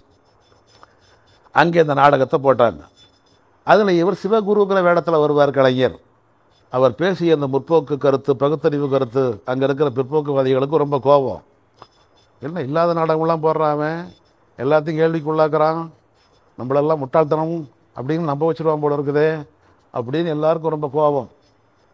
அதில் தொழிலாளர் மித்திரன் அங்கே ஒரு இதழ் வந்துக்கிட்டு இருந்தது. மாத இதழ். அதில் வேற கட்டுரைகள் எழுத ஆரம்பிச்சிட்டார் கலைஞர். அன்றைக்கு இருந்த முதலாளிகளுடைய சுரண்டல் ஆதிக்கம் அவற்றையெல்லாம் கண்டித்து வர எழுதிட்டார். அப்போ தான் திராவிடர் கழக மாநாடு புதுவையில் ஏற்பாடு செய்தவர் பாவேந்தர் பாரதிதாசன். பாவேந்தர் தான் மாநாடு போட்டார். மாநாட்டுக்கு பெரியார் அண்ணா கலைஞர் கலைஞர் தான் அங்கேயே இருக்கிறார் நாடகத்திலேயே நாவலர். எல்லாரும் வர்றாங்க. எல்லாரும் வந்திருக்கிற பொழுது எல்லாருக்கும் அங்கே இருக்கிற அந்த பிற்போக்குவாதிகளுக்கு எப்படியாவது இந்த மாநாட்டை சீர்குலைச்சிடணும் நடத்த விடக்கூடாது என்று முயன்று கொண்டிருந்த பொழுது அரை நாள் நடந்துருச்சு. அரை நேரம் நடந்துருச்சு. அரை நேரம் நடந்த பிறகு உடனே கலவரத்தை உண்டாக்கிட்டாங்க. கலவரத்தை உண்டாக்குனதில் அவங்களுடைய குறி கலைஞர் தான். கலைஞரோட பேர் தெரியலை அவங்களுக்கு. மு. கருணாநிதி என்ற பெயர் அப்பொழுது விளம்பரமாகவில்லை. அவங்களுக்கு தெரிந்த பேரெல்லாம் நாடகத்தில் நடித்த அந்த கதை மாந்தர் பெயர் தான் சிவகுருங்கிற பேர் தான். சிவகுருவை விடாதே சிவகுருவை விடாதே என்று எல்லாரும் துரத்த ஆரம்பிக்க கலைஞர் திசை தவறி போக அவர்கள் போய்கொண்டிருந்த வழியில் ஒரு செருப்பு ஒரு ஷூ கிடக்க ஒரு பாதக்கூடு. அந்த பாதக்கூடு பாரதிதாசனுக்குரியது. அந்த கூடு கிடக்க அந்த பாதக்கூட்டை எடுத்து சிக்கிட்டார் கலைஞர். அந்த ஷூ எடுத்தே கலைஞர் அடிக்கிறான் செருப்பாலே அடிக்கிறாங்க எப்பேற்பட்ட கலைஞர்? நான் செருப்பால் அடிபட்டேன். அடிபட்டாலும் எங்கள் கவிஞன் பாரதிதாசனுடைய செருப்பால் அடிபட்டேன் எழுதுவார். மேடையிலும் பேசினார் எழுதியும் காட்டினார். பாரதிதாசனுடைய செருப்பால் தான் அடிபட்டு. சொல்லுவாங்களா யாராச்சும் சொல்லுவோமா நாம்? செருப்பால் அடிபட்ட செய்தியை நாம் வெளிப்படுத்துவோமா? நான் செருப்பால் அடிபட்டாலும் பாரதிதாசனுடைய செருப்பால் அடிபட்டேன் என்பதில் எனக்கு பெருமையினார் அந்த அடிபட்டவர் முச்சு முச்சு பாருங்க போயிடுச்சே. தீர்ந்துட்டார் ஆள். அப்படின்னு உயிர் போயிடுச்சுன்னு நினச்சி அவரை சாக்கடை உரையிலே வாரத்தில் வீசி விட்டு போய்விட்டார்கள் அருகில் இருந்த ஒரு இஸ்லாமிய பெண்ணு தான் பார்த்து உயிர் இருக்கா இல்லையான்னு பார்க்குறதுக்கு வெறும் வெத்தலையை கொண்டு போய் மூக்கிட்ட காட்டுவாங்க. அந்த வெத்தலையினுடைய நுனி ஆண்டுச்சுன்னா இருக்குது உயிர் இருக்குது சின்ன குழந்தைக்கு கூட அப்படி தான் கண்டுபிடிப்பாங்க. அந்த வெத்தலையோட நுனியை காட்டு ஆண்டுச்சுன்னா மூச்சு ஓடிக்கிட்டு இருக்கு மற்ற எதுக்கும் தெரியும்? வேலை வச்சு பார்த்தா தெரியாது. உடனே உள்ளே கொண்டு போய் அந்த அம்மாவுக்கு தெரிந்த மருத்துவமெல்லாம் பார்த்து அப்போ தான் எங்கே இந்த கருணாநிதியின் பெரியார் கேட்குறார் உடனே பாரதிதாசன் ஒவ்வொரு பக்கமாக போக கடைசியில் இங்கே இருந்ததை அவர் எப்படி கொண்டு போனால் மறுபடியும் கலவரம் வெடிக்கும் என்று அந்த இஸ்லாமியர் வீட்டில் இருந்த லுங்கி கையிலேயே வாங்கி ஒரு தொப்பியும் போட்டு விட்டு கலைஞருக்கு ஒரு இஸ்லாமிய இளைஞனை போல் அவரை உருமாற்றி அழைச்சிக்கிட்டு வந்துட்டார். வந்த இடத்துல தான் என் கொள்கையை பேச போக யார் பெத்த குழந்தைகளோ இப்படி அடிபட்டு சாகுதே என்று கண்ணீர் விட்டார் பெரியார். அவருக்கு சித்த மருத்துவம் தெரியும். அவருடைய அண்ணன் ஈவே கிருஷ்ணசாமி அவரே ஒரு மருத்துவர் சித்த மருத்துவர். இப்போ இருக்கார் இளங்கோவனுடைய தாத்தா. ஐயாவுக்கும் தெரியும். சித்த மருத்துவம் நல்லாவே தெரியும். அவருக்கு ரொம்ப நல்லா தெரியும். அடிபட்ட பொண்ணுக்கெல்லாம் காயத்துக்கெல்லாம் மருந்து போட்டுக்கொண்டே சொல்கிறாராம் கலைஞர். கலைஞரை பார்த்து சொல்கிறாராம் பெரியார். யார் பெற்ற குழந்தைகளோ இப்படி எனக்காக அடிபட்டு சாகுதே. நீ ஈரோட்டுக்கு வந்துடுவியா வர்றியான்னு கே அப்போ தான் எதிர்பாராமல் கேட்டது. நீ ஈரோட்டுக்கு வந்துடுறியான்னு கேட்டிருக்கார். கலைஞர் நொடி கூட தாமதிக்கவில்லை. காலத்தாழ்வு செய்யலை. வந்துடுறோங்க ஐயா. இதுக்கிட்டே காத்துக்கிட்டு இருந்தவர் மாதிரி சொல்கிறார் அந்த நொடி பொழுது தான் கலைஞரை மாற்றியது. கலைஞர் கருணாநிதி ஆக்கியது. அமைச்சர் கருணாநிதி ஆக்கியது. திராவிட முன்னேற்ற கழக பொருளாளர் கருணாநிதி ஆக்கியது. சட்டமன்ற உறுப்பினர் கருணாநிதி ஆக்கியது. முதலமைச்சர் கருணாநிதி ஆக்கியது. முத்தமிழறிஞர் கருணாநிதி ஆக்கி இன்றைக்கு நூற்றாண்டு விழா நிறைவை நம்மையே கொண்டாட வைத்திருக்கிறது. எல்லாவற்றுக்கும் அந்த ஒரு நொடியிலே எடுத்த முடிவுதான். ஈரோட்டுக்கு வந்து விடுகிறேன் என்று சொன்னார். திராவிடர் கழக மாநாடு போட்டிருக்கிறேன் திருச்சியிலே. அந்த மாநாட்டுக்கு வந்துருங்க. நம்ம பையங்கள்லாம் அங்கே வருவாங்க. உங்களை அழைச்சிக்குவாங்க என்று அவர் சொல்ல அதை வைத்துத்தான் நான் கண்டுபிடித்தேன். ஆயிரத்தி தொள்ளாயிரத்தி நாற்பத்தி ஐந்து நவம்பர் மாதம் ஒன்றாம் நாள் ஈரோட்டுக்கு அழைத்து செல்லப்பட்டவர் கலைஞர். அழைத்து சென்றவர்கள் தவமணி ராசன் இன்னொருவர் கருணானந்தம். ரெண்டு பேருமே பிற்காலத்தில் அரசு ஊழியராகிவிட்டார்கள் அதனால் அவர்களுக்கு அரசியலிலே ஒரு பெரிய அடையாளம் கிடைக்கவில்லை. தவமணி ராசன் கூட்டுறவுத்துறையிலே பணியாற்றி விட்டார். அவருடைய ஊர் விருதுநகர். கருணானந்தம் ஆட்சிக்கு வந்தவுடனே அவர் அரசு பதவியை விட்டுவிட்டு செய்தித்துறை இயக்குநராக ஆகிவிட்டார். அறுபத்தி ஏழில் வந்துட்டார். அந்த ரெண்டு பேரும் தான் கலைஞரை அழைத்து சென்றார்கள். ஈரோட்டுக்கு அழைத்து சென்றார்கள். அவர்கள் ஏற்கனவே அங்கே வேலை செய்கிறார்கள். அங்கே தான் பெரியார் குடியரசனுடைய துணை ஆசிரியராக்கினார். பதினான்கு வயதிலேயே எழுதத் தொடங்கிய கலைஞர். எழுதி எழுதி கை பழுத்து போன காய்த்து போன கலைஞர். ஆயிரம் ஆயிரம் பக்கங்களை எழுதி குவித்த என்னால் இன்றைக்கு என்னுடைய பெயரை கூட கையெழுத்து முடிய போட முடியவில்லையே என்று கண்ணீர் விட்டார் கலைஞர். அந்த கலைஞரைத்தான் ஒரு அம்மா அவரை இரவோடு இரவாக வீட்டில் இருந்து தூக்கி சிறைச்சாலைக்கு கொண்டு போகிற பொழுதுதான் சிறைச்சாலைக்கு வெளியிலே வெறும் மூட்டி கைலி லுங்கியோடு தான் லுகியோடு உட்கார்ந்திருப்பார் கலைஞர். பக்கத்திலே கனிமொழி இன்றைய நாடாளுமன்ற உறுப்பினர். அங்கே இருக்கிற பொழுது தான் ஒரு விண்ணப்பம் எழுதி கொடுங்கள் என்கிற பொழுது தான் என்னால் ஒருவரை கூட எழுத முடியவில்லை. கையெழுத்து மட்டும் போடுங்கப்பா. கையெழுத்து கூட போட முடியவில்லை. ஆயிரம் ஆயிரம் பக்கங்களை எழுதி குவித்த இந்த கையினால் என்னுடைய கையை கையெழுத்து கூட போட முடியாத அளவுக்கு முறுக்கி விட்டார்கள். கையை முறுக்கி தோளை முறுக்கி ஆடை முறுக்கி தூக்கி வீசி இத்தனை சித்திரவதைகளையும் பெற்றவர் தான் கலைஞர். இந்த உயர்வுகள் எல்லாம் உடனே எடுத்த உடனே வந்தவர்கள். தொடக்கத்தில் இருந்தே அவருக்கு எல்லாமே எதிர்நீச்சல் தான் எதிர்நீச்சல் தான். அந்த கலைஞர் அவர்கள் தான் கோவையில் இருந்த பொழுதுதான் அவருடைய தந்தையார் உடல்நலக்குறைவு உடல்நலக்குறைவு அவருக்கு இங்கே தான் இங்கே இருந்த பொழுது அவர் இருந்ததெல்லாம் திருவாரூரில். திருவாரூரில் இருந்த தந்தையாருக்கு உடல் நலமில்லை உடனே புறப்பட்டு வா என்று செய்தி செல்ல உடனே தன்னுடைய மனைவி பத்மாவதியையும் அழைத்து கொண்டு கலைஞர் அவர்கள் கோவையில் இருந்து செல்கிறார் திருவாரூர் செல்கிறார். உடனே ஒரு மருத்துவர் அழைச்சிக்கிட்டு வாங்க அப்போ மருத்துவர் என்றால் இன்றைக்கு இருக்கிற ஆங்கில மருத்துவர் எல்லாம் இல்லை. சித்த மருத்துவர் தான்.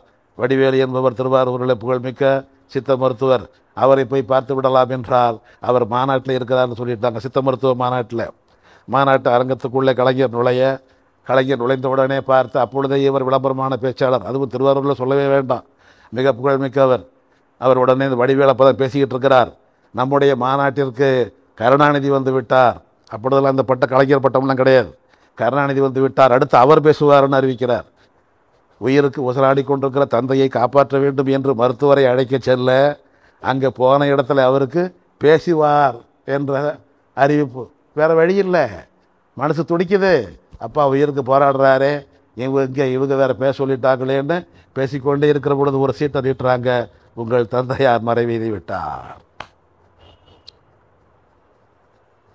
அப்படித்தான் அவருடைய மனைவிக்கு உடல்நலக்குறைவு. குறைவு குறைவு ஏற்பட்ட பொழுது அவரை அழைத்து கொண்டு திருவாரூர் போயிட்டார். திருவாரூர் போ கோவையிலிருந்து தான். எல்லாம் கோவையிலிருந்து தான். கோவையிலிருந்து சொல்லக்கூடிய செய்திகள் பலது அப்படியே போய்கிட்டே இருக்குது. அங்கே திருவாரூர் போன பிறகு அவருக்கும் உடல்நலக் குறைவு இப்போதோ அப்போதோ என்று நிமிடக்கணக்கில் ஓடிக்கொண்டிருக்கிற பொழுது புதுக்கோட்டையில் ஏற்கனவே அவர் கூட்டத்துக்கு ஒப்பு கொண்டிருந்தார் அது தாழ்த்தப்பட்டவர்களுக்கான கூட்டம். ஆதி திராவிட மக்கள் ஏற்பாடு செய்த கூட்டம். அந்த கூட்டத்துக்கு ஒருவேளை நம்ம அனுப்பின செய்தி போலிச்சோ இல்லையோ அவர் பார்த்தாரோ இல்லையோ கோவையில் ஒரு கால் திருவாரூரில் ஒரு கால்னு ஓடிக்கிட்டே இருக்கிறாரே என்று நினைத்து அந்த புதுக்கோட்டை தோழர்கள் திருவாரூர் வந்து விட்டார்கள். பெரிய கூட்டம் நல்ல ஏற்பாடு நீங்கள் வந்தே திறனுங்கிறாங்க நான் மனைவியை பார்ப்பேனா? ஒப்புக்கொண்ட புதுக்கோட்டை கூட்டத்துக்கு செல்வேனா? நான் உயிரினு மேலாக நேசிக்கின்ற ஒடுக்கப்பட்ட மக்கள் அல்லவா? அவர்கள் காலனா என்று சேர்த்து சேர்த்து ஏற்பாடு செய்த கூட்டம் அல்லவா? நான் போகாமல் இருந்து விட்டால் அவர்களுடைய மனம் எவ்வளவு துயரப்படும்? இருக்கட்டும் வருகிறேன். புறப்பட்டுட்டார். மனைவியினுடைய உயிர் ஊசலாடி கொண்டிருக்கிற பொழுது புதுக்கோட்டைக்கு புறப்பட்டு விட்டார் கலைஞர்.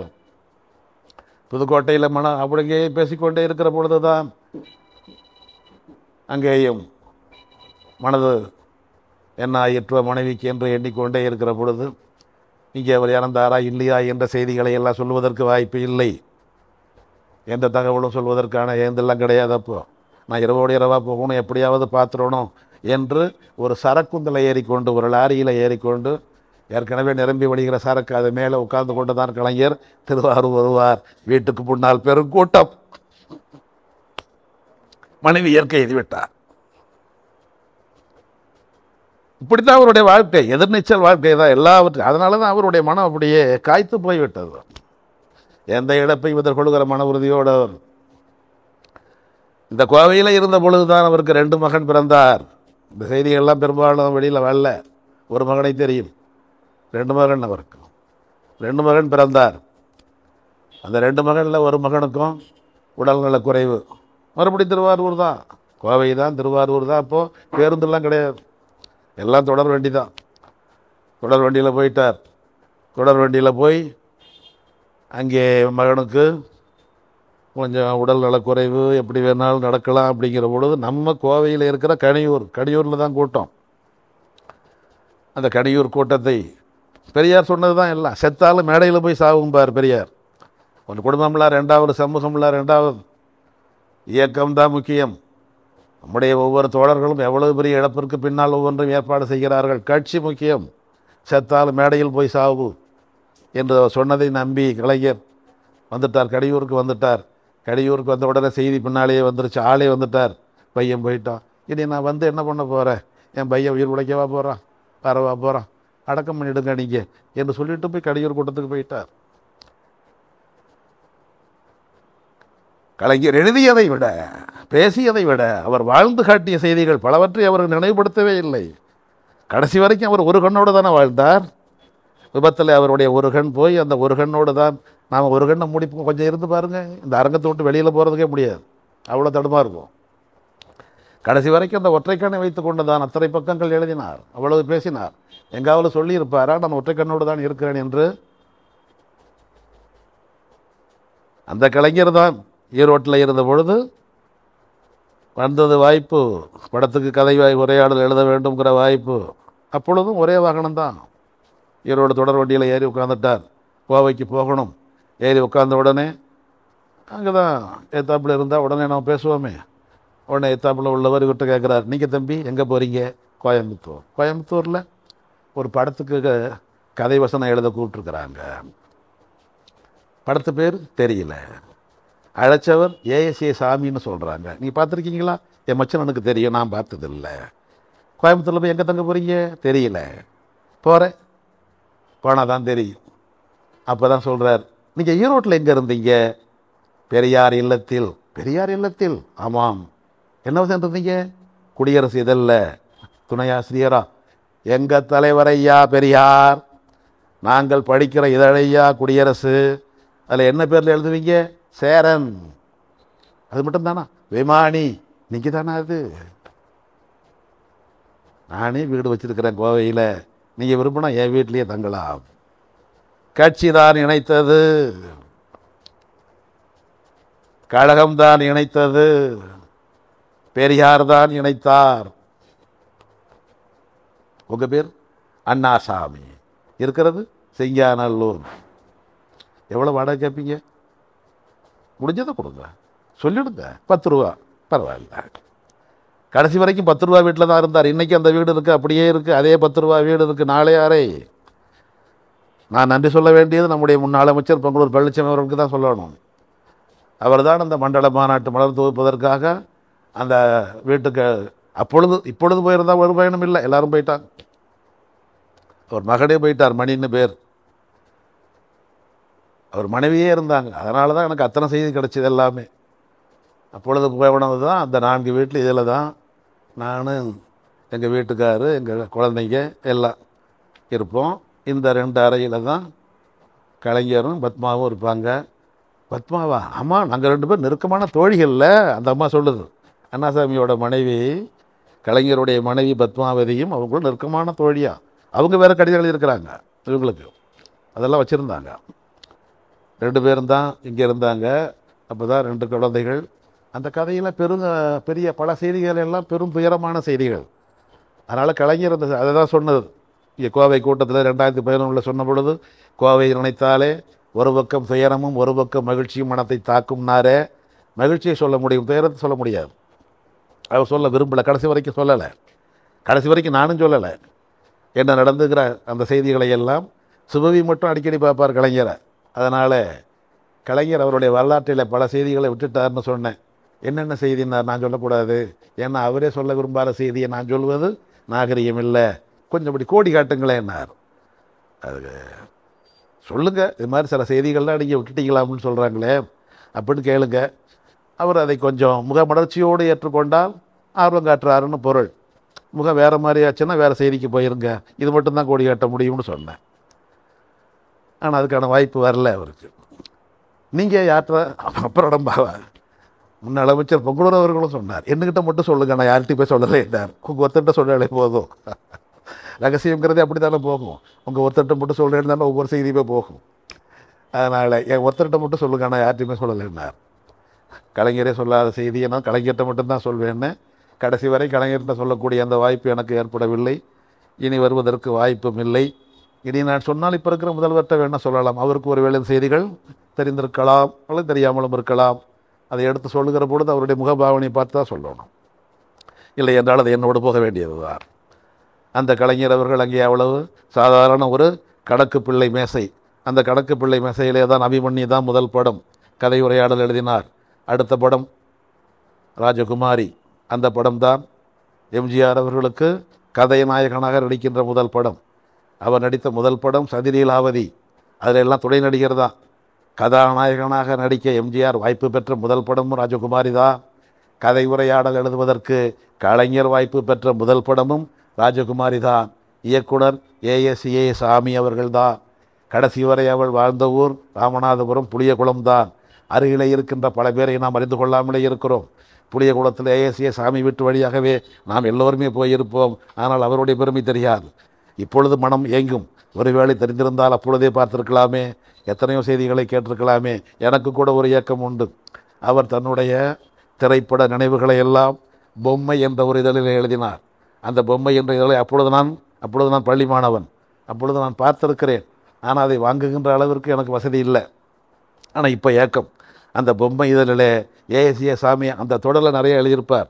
அந்த செய்திகளை பார்த்தால் இன்னும் நமக்கு கூடுதலான செய்தி கிடைக்குமே. எந்த ஒரு வரலாற்றாசிரியருக்கும் இப்படித்தான். எதை பார்த்தாலும் அதில் ஒன்றும் கிடைக்காதா? அப்படின்னு ஒரு ஏக்கம் வரும் எதிர்பார்ப்பு வரும். அன்றைக்கு நமக்கு வாய்ப்பு இல்லாமல் போய்விட்டதை யாராவது வச்சுருக்க எல்லாம் யாரை பார்த்தாலும் கேட்பேன். இந்த பொம்மை இதழ் தொகுப்பு எங்க அதெல்லாமா பாதுகாத்து வைப்பாங்க? அதெல்லாம் திரைப்பட இதழ் தானே? அப்படின்னு சொல்கிறவங்க தான் பல பேர். ஆனால் அதில் இருக்குது திரைப்பட இதழுக்குள்ளேயும் பல வரலாறு இருக்குது. முதல் திரைப்பட இதழ் வந்தது சினிமா உலகம். சினிமா உலகம் வந்தது இந்த கோவையில் இருந்து. எழுதிய அதை நடத்தியவர் பி எஸ் செட்டியார். பக்கிரசாமி செட்டியார். அவருடைய தங்கை மகன்தான் சீர்காழி கோவிந்தராஜன். சீர்காழி கோவிந்தராஜனுக்கு வாய்ப்பை ஏற்படுத்தி கொடுத்தவர் பக்கிரசாமி செட்டியார் என்கிற பி எஸ் செட்டியார் தான். அவர் நடத்தியது சினிமா உலகம் கோவையில் இருந்து ஒரு இதழாவது பார்க்க முடியாதா? ஏங்கிக் கொண்டிருக்கிறேன். நீங்களும் நினைவில் வைத்துக் கொள்ளுங்கள் எங்காவது கிடைக்காதா என்று. அந்த பி எஸ் செட்டியாருடைய மகன் அவர் ஒரு மலர் மட்டும் கிடைத்தது. அது என்னுடைய மருமகன் மூலம் கிடைச்சது நல்ல வேளையாக. அந்த பி எஸ் செட்டியாருடைய நூற்றாண்டு விழா மலர் கிடைச்சது. வரலாறு என்பது தொடர்ச்சியான முயற்சி. இப்போ நான் எடுத்து சொல்கிறேன் அப்படின்னா இங்கே பேசுகிற நேரம் ஒரு மணி நேரம் ஒன்றரை மணி நேரம் இருக்கும். ஆனால் எடுத்து கொடுக்குற செய்தி எத்தனை ஆண்டு சேகரிப்பு என்பது யாருக்கும் தெரியற வாய்ப்பு இல்லை. அதே போல தான் பேசும் படம் என்பது உருவாக்கப்பட்டதும் இந்த கோவையிலிருந்து தான். கே ராம்நாத் அவர் உருவாக்கிய அந்த திரைப்பட இதழ் எங்கே பிறந்தது? கோவையில். முதல் திரைப்பட இதழ் சினிமா உலகம் பிறந்தது கோவையில். இந்த பொம்மை என்பது நடத்தியவர் நாகிரெட்டி என்பவர். அதில் எழுதினார் ஏசிய சாமி அவருடைய பட்டறிவுகளை எல்லாம். காரணம் அவர் எடுத்த படங்கள்லாம் உங்களுக்கே தெரிஞ்சிருக்கும். அரசலங்குமரிக்கு இயக்குனர் அவர்தான். தங்க பதுமை ஆடி அடங்கும். கண்ணை கொடுத்தவனே பறித்து கொண்டாண்டி. ஏசிய சாமி தான் இருபத்தோரு படங்களுக்கு ஒரு அவர் இயக்குனர். அப்படிப்பட்ட இயக்குனராக இருந்த ஏசிய சாமியினுடைய நினைவுகளை நாம் தெரிந்து கொள்கிற வாய்ப்பு புத்தகமாக கிடைக்கல. பொம்மை இதெல்லாம் மட்டும்தான் இருக்குதுன்னு சொல்கிறாங்க நான் அதை பார்க்கவில்லை. அதில் பலவற்றை அவர் எழுதியிருக்கக்கூடும் அவர் தான் முதல் வாய்ப்பு கொடுத்தார் அபிமன்யு. ரெண்டாம் வாய்ப்பு கொடுத்தார் ராஜகுமாரி. ஆனால் வெளியே வந்த பொழுது ராஜகுமாரி தான் முதல்ல வந்துச்சு. அபிமன்யு ரெண்டாவதாகத்தான் வந்தது எப்படியாவது என்னோடய வசனத்தை எங்கள் அப்பா கேட்டுறணும் அப்படின்னு ஏக்கம் இருந்தது. கலைஞருக்கு. அவருடைய அப்பா உயிரோடு இருக்கிற பொழுதே படம் வந்துருச்சு. அதனால் அந்த படத்தை கேட்கணும்னு எதிர்பார்க்குற பொழுது அவருக்கு ரெண்டு கண் பார்வையும் போயிடுச்சு. அப்பா என் படம் வந்துருச்சுப்பா நீங்கள் எப்படி பார்ப்பீங்க என்கிறார் கலைஞர். கோவைக்கு நீ போய் எழுதுனதை நான் கண்ணால் பார்க்காவிட்டாலும் காதால் கேட்கணுண்டா தம்பி. அந்த படம் எங்கே ஓடுதோ அங்கே என்ன வெளியில் உட்கார வை. நான் காட்சியை பார்க்கலன்னா என்ன? நீ எழுதுகிற வசனம் தானே எனக்கு முக்கியம். காதில் கேட்பல்ல காதில் தான் கேட்டார். அப்பா அப்படி காதில் கேட்டு மகிழ்ச்சி அவருக்கு. இந்த பாட்டுணர்வு மிக்க வரிகள். அவருக்கு இயல்பாக வரும் கலைஞருக்கு ஒரு வாழ்குடங்கள் இது மற்றவங்க எழுதுவாங்க. ஆனால் கலைஞர் எப்படி எழுதப்பட்டார் ஒடிந்த வாளாக இருந்தாலும் ஒரு வாழ்குடங்கள் என்பார். அந்த ஒரு சொல்ல முன்னை முன்னை போடுறப்ப அதனுடைய ஆழமே கூடிப்போகும் அந்த கவித்துவமிக்க பாட்டுணர்வு மிக்க அவருடைய உரையாடல் வரிகள் தான் அவருக்கான தனி அடையாளமாக வளர்ந்தது. பெரிய எழுத்தாளர் ஆயிட்டார். வாய்ப்பை வழங்கியது கோவை. அந்த அப்பா காதால் கேட்டார். பின்னால் அவர் இறந்து போயிட்டார். இறந்து போன பிறகு இறப்பு நிகழ்ச்சியெல்லாம் முடித்துவிட்டு கலைஞர் அவர்களும் அவருடைய மனைவி பத்மாவதி அவர்களும் அதே தொடர் வண்டி தான் சிங்காநல்லூர் சிங்காநல்லூரில் இறங்கிற பொழுது மணி பத்தரைக்கு மேலே ஆயிடுச்சு. வீட்டுக்கு போகணும்னா அப்போல்லாம் ஜட்காம்பாங்க குதிரை வண்டி. ரெண்டே ரெண்டு குதிரை வண்டி தான் அந்த பெட்டியை விட்டு இறங்குறப்ப எல்லாம் ஓடி வந்திருப்பாங்க போல இருக்கு உள்ளூர்காரவங்கள்லாம் முன்னால் வந்தவங்க அந்த ரெண்டு வண்டியை பிடிச்சிக்கிட்டு போயிட்டாங்க. இவங்க ஏறுறதுக்கு வண்டி இல்லை. மறுபடியும் அந்த வண்டி எப்போ வரும் உத்தரவாதம் இல்லை. எப்படியாவது போய் சேரணும். இன்றைக்கி இருக்கும் பேருந்து நிலையம் இன்றைக்கி இருக்கிற கரும்பு கடை மைதானம் அங்கே தானே வீடு. அந்த தொடர் வண்டி நிலையம் உள்ளெல்லாம் இருக்குது உள்ளே இருந்து வரணும். உயிர் பயம். ஆள் நடமாட்டமே இல்லாததில் உயிரை கையில் முடிச்சுக்கிட்டு வருவாங்க. அதெல்லாம் அப்படியே எழுதுறார். மூட்டைகளை நான் சுமந்து கொண்டேன். மற்ற பொருள்களை எல்லாம் என் மனைவி சுமந்து கொண்டால் ஆனால் எந்த நேரத்தில் எது எங்கள் மேல் பாயுமோ என்ற அச்சத்தோடு நடுங்கிக் கொண்டேதான் நாங்கள் சிங்கானல்லூர் வீட்டை வந்து அடைந்தோம் என்று கலைஞர் சொல்லுவார். அதே போல் இன்னொரு நிகழ்ச்சியில் அவர் எழுதிய கதை உரையாடலாம் எழுதி எல்லாவற்றையும் சரிபார்த்து முடிக்கிற பொழுது இன்றைக்கு இருக்கிற விக்னேஷ் மஹால் அதுதான் பச்சிராஜா படப்பிடிப்பகம். பச்சிராஜா ஸ்டுடியோ. எடுக்கிற நிறுவனத்துக்கு பெயர் ஜுபிடர் பிக்சர்ஸ். அதுக்கு ரெண்டு பேர். ஒருவர் மொய்தீன். இன்னொருவர் ரெண்டு பேர். அவங்க ரெண்டு பேர் தான் இணையாகவே இருப்பாங்க. அவங்க ரெண்டு பேரும் நடத்தினது தான் ஜூபிடர் பிக்சர்ஸ். ஜூபிடர் ஸ்டுடியோன்னு ஒன்று கிடையாது. பச்சராஜா ஸ்டுடியோ தான். அந்த பச்சராஜா ஸ்டுடியோவில் இவர் எழுதி முடிச்சுட்டு அப்படியே ராமநாதபுரம் வழியாக சிங்காநல்லூருக்கு போகிறதுக்கு ஒன்றும் கிடையாது வண்டியே கிடையாது. நடந்தான் போகணும். நடந்து வருவதை அப்படியே எழு- நெஞ்சுக்கு நீர் எழுதுவார். நான் சிங்காநல்லூர் வீட்டுக்கு செல்லுகின்ற பொழுது ராமநாதபுரத்தை கடந்து செல்லுகின்ற பொழுது நரி கூட்டம் அப்பொழுதெல்லாம் நடமாட்டம் இல்லையே. மக்கள் கூட்டமே கிடையாது. ஏராளமான நரி கூட்டம் என்னை சூழ்ந்து கொண்டது. இன்றோடு என் வாழ்க்கை முடிந்து விட்டது என்று நான் அச்சப்பட்டேன். நரிக்கூட்டம் எந்த நேரத்தில்? இவர் மேலே பாயுமோ நினைத்த பொழுது தான் திடீர்னு பளிச்சுன்னு ஒரு வெளிச்சம். அந்த வெளிச்சத்தை பார்த்த உடனே நரி கூட்டமெல்லாம் ஒதுங்கி நின்றுச்சு பளிச்சுன்னு இவர்கிட்ட நின்றுச்சு யாரப்பா இந்த வேலை இந்த நேரத்தில் இங்கே நிற்கிறது சிங்காநல்லூர் போகணும்ங்க. எங்கள் வண்டி சூலூர் போகுது? இராணுவ வண்டி. மிலிட்ரி வேன் சூலூர் தான் காப்பாற்றிருக்க வர இராணுவ வண்டியினுடைய வெளிச்சம்தான். ஏறு வண்டியில் அப்படின்ட்டாங்க. கலைஞர் ஏற்றப்பட்டார். இராணுவ வண்டியில் சிங்காந்தூரில் இறக்கி விடப்பட்டார். காப்பாற்றப்பட்டு விட்டேன். நரிகளிடமிருந்து காப்பாற்றப்பட்டு விட்டேன். கலைஞரை எழுதுகிறார் நிகழ்ந்து போய் எழுதுகிறார். சூழலுக்கு இருக்கிற பெருமைகள் எத்தனை வகையான பெருமைகள்?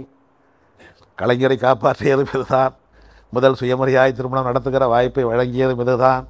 கோவைக்கு அவர் வந்தவுடனே முதல் சொற்பொழிவாற்றுகிற வாய்ப்பை வழங்கியதும் இந்த சூலூர் தான் இங்கே தான் ஆயிரத்தி தொள்ளாயிரத்தி நாற்பத்தி ஆறாம் ஆண்டு அக்டோபர் மாதம் இங்கே வந்தார். அதே அக்டோ அக்டோபர் நா- மாதம் மறைந்தவர் தான் கோவை மாவட்டத்தையே மாற்றியிருக்கக்கூடிய மாபெரும் ஆற்றல் மிக்க மக்கள் செல்வாக்கு மிக்க பட்டக்காரர் பழைய கோட்டை அர்ச்சுனன் அவர்கள். அர்ச்சுனன் மறைந்ததும் அதே அக்டோபரில் தான். இருபத்தி மூணே வயசு இறந்துட்டார். அவருடைய அப்பா நல்ல தம்பி சர்க்கரை மன்றாடியார். அவருடைய அண்ணன் நல்ல சேனாதிபதி சர்க்கரை மன்றாடியார். பின்னால் அவர் அமைச்சராக கூட இருந்தார். அவருடைய மாமனார் ஊத்துக்குழி ஜமீன்தார் வெளியங்கிரி கவுண்டர் ஒரு லட்சம் ஏக்கர் பல்லாயிரக்கணக்கான கால்நடைகள் அவ்வளவு பெரிய செல்வ செழிப்பு மிக்க அர்ச்சுனன் எப்பொழுதுமே பெரியார் படம் போட்ட அவருடைய சட்டை. அவர் இறந்த ஆண்டில் தான் அறிமுகப்படுத்தப்பட்டது கருப்பு சட்டை நாற்பத்தாறில் தான் கருப்பு சட்டை அதுக்கு முன்னாலலாம் கிளை கருப்பு சட்டை அறிமுகமான பிறகு எப்பொழுதுமே கருப்பு சட்டை தான். ஈரோட்டில் இருந்த பொழுது தான் அவருக்கு உடல் நலம் குன்றியது. மருத்துவர் முத்துசாமி என்பவர் தான் அவருக்கான சிகிச்சை எல்லாம் கொடுத்தார். இருந்தாலும் நாற்பத்தி ஆறாம் ஆண்டு அக்டோபர் மாதம் மறைந்து போனார். இருபத்தி மூன்று வயதில் ஈரோட்டில் தான். பெரியார் தன்னுடைய மனைவியின் மறைவுக்கு வருந்தாதவர் அழாதவர். ஆனால் அர்ச்சுனனுடைய மறைவுக்கு தான் கதறி கதறி எழுதார். ஈரோட்டில் இருந்து சென்னைக்கு புறப்பட வேண்டும் என்று புறப்படுவார். எழுதுகிறார்கள். அருகில் இருந்து பார்த்தவர்கள். புறப்பட்டு தொடர்வண்டி நிலையம் போகிற வழியிலேயே மறுபடியும் திரும்பி வீட்டுக்கு அழுதுகிட்டே வருவார். அர்ச்சனா போயிட்டியா? அப்படின்னு மறுபடியும் உட்காந்துக்கிட்டு அழுவார். எத்தனை கனவு கண்டேன். காரணம் கோவை மாவட்ட திராவிடர் கழகத்தின் தலைவர் அவர்தான். இன்றைக்கு நம்ம குமரவேல் இருக்கிறார். மாநில திராவிடர் கழகத்தின் துணைத் தலைவர் அவர்தான். திராவிடர் கழகத்தின் முதல் பொருளாளர் அவர்தான். அப்படி ஒரு பதவியே கிடையாது அதுக்கு முன்னால் எல்லாம் பதவியே கிடையாது. அர்ச்சுனன் தான் முதல் பொருளாளர். இத்தனை பொறுப்புகளுக்கும் பெருமை சேர்த்த அந்த அர்ச்சுனன் தான். இருபத்தி மூணு வயதில் இறந்தால் பொறுத்துக்கொள்ள. ரெண்டு பேருக்கு அழுதார். ஒருவர் அர்ச்சுனன் இன்னொருவர் ஏடி பன்னீர்செல்வம். ரெண்டு பேருடைய மறைவை பெரியாரால் ஏற்றுக்கொள்ளவே முடியவில்லை. ஏன்னா அவர்கள் ரெண்டு பேருமே ஏடி பன்னீர்செல்வம் பெரிய அறிவாளி. பாரட்லா இங்கிலாந்து நாட்டு அமைச்சருக்கு ஆலோசகராக போகிற இடத்துல சூழ்ச்சியின் காரணமாக அவர் சென்ற விமானம் ஓமான் கடலில் விழுந்தது விழ வைக்கப்பட்டது. இந்த பன்னீர்செல்வம் இருந்தால் ஏடி பன்னீர்செல்வம் இருந்தால் எவ்வளவோ மாற்றங்களை ஏற்படுத்தி விடுவார் என்று அஞ்சினார்கள். எட்டு பேரை மட்டும் செல்லக்கூடிய ஒரு விமானம். அந்த விமானம் வீழ்த்தப்பட்டது. அதனால்தான் இன்றைக்கும் பார்க்கலாம் எல்லா ஊர்களிலும் பார்க்கலாம். ஊருக்கு பத்து பேர் பன்னீர்செல்வம் இருப்பார்கள். நன்றி மறக்காத பன்னீர்செல்வங்கள். அந்த பன்னீர்செல்வம் தான் கல்வியை எல்லாருக்கும் பொதுவாக்கியவர் கல்வி வாய்ப்பை ஏற்படுத்தியவர். அன்றைக்கு பார்ப்பனர்கள் படிப்பதற்கு மட்டும் இலவச உறைவிடம் உண்டு. இலவச உணவு உண்டு. உணவு கொடுப்பார்கள் இலவசமாய். உரத்த நாட்டிலே ராஜாமடத்திலே நான் படித்த திருவையாற்று அரசர் கல்லூரியிலே எல்லா இடத்திலும் பார்ப்பனர்களுக்கு மட்டும்தான். சொல்லிக் கொடுப்பதும் சமஸ்கிருதம் தான். சமஸ்கிருதம் வேண்டாம் தமிழ் சொல்லிக் கொடு. அப்படித்தான் நாங்கள் எல்லாம் புலவர் படித்தோம். ஏன் தான் இந்த புலவர்கள் தமிழ் படித்தவன் எல்லாம் இந்த திராவிட இயக்கம் பெரியார்னு அடையிறாங்களோன்னு சொல்லுவாங்க. நன்றி உணர்ச்சி. நாங்கள் படித்த இந்த பட்டத்திற்கு காரணம் தாடா திராவிடர் இயக்கம். எங்களுக்கு இந்த வாய்ப்பை ஏற்படுத்தி கொடுத்தவர் பெரியார். பெரியாரின் தளபதி ஏடி பன்னீர்செல்வம். அங்கே சமஸ்கிருதம் தான் சொல்லி கொடுத்துக்கிட்டு இருந்தாங்க. அதெல்லாம் தனி வரலாறு. நான் ஏராள நிகழ்ச்சிகளில் நான் அதை பற்றிலாம் பேசியிருக்கிறேன். அந்த பன்னீர்செல்வம் இறப்புக்கும் அர்ச்சுனனுடைய மறைவுக்கும் தான் பெரியார் கண்ணீர் விட்டு கதறியது. அந்த அர்ச்சுனன் மறைந்தது இருபத்தி மூன்று வயதில் இரங்கல் கூட்டம் நடத்துங்கள் நாடு முழுவதும் நடத்துங்கள் பெரியார் ஆணையிட்டார். கோவை மாவட்டத்தில் பன்னீர்செல்வத்திற்கு நடந்த இரங்கல் கூட்டம் ஐந்து ஊர்களில் மட்டுமே. இதெல்லாம் குறித்து வச்சுக்கோங்க. எல்லாம் எல்லாம் இருக்கிறீங்க முக்கியமான பொறுப்பில் உள்ளவங்க எல்லாம் இருக்கிறீங்க. ஐந்து ஊர்கள் மட்டுமே. ஒன்று கோவை. அன்றைக்கு கோவை என்று சொன்னால் தென்கோவை தான். வடகோவை தென்கோவை ரெண்டு பகுதி உண்டு. இப்போ யாரும் தென்கோவைன்னு சொல்கிறதில்ல இன்றைய காந்திபுரத்துக்கு பெயர் தென்கோவை என்றைக்கு? அதில் இருந்த ஒரு சலவை தொழிலாளி அவர்கள் தான் அப்போது நகர செயலாளர். மிக வலிமையான இயக்கமாக அப்போ இருந்தது.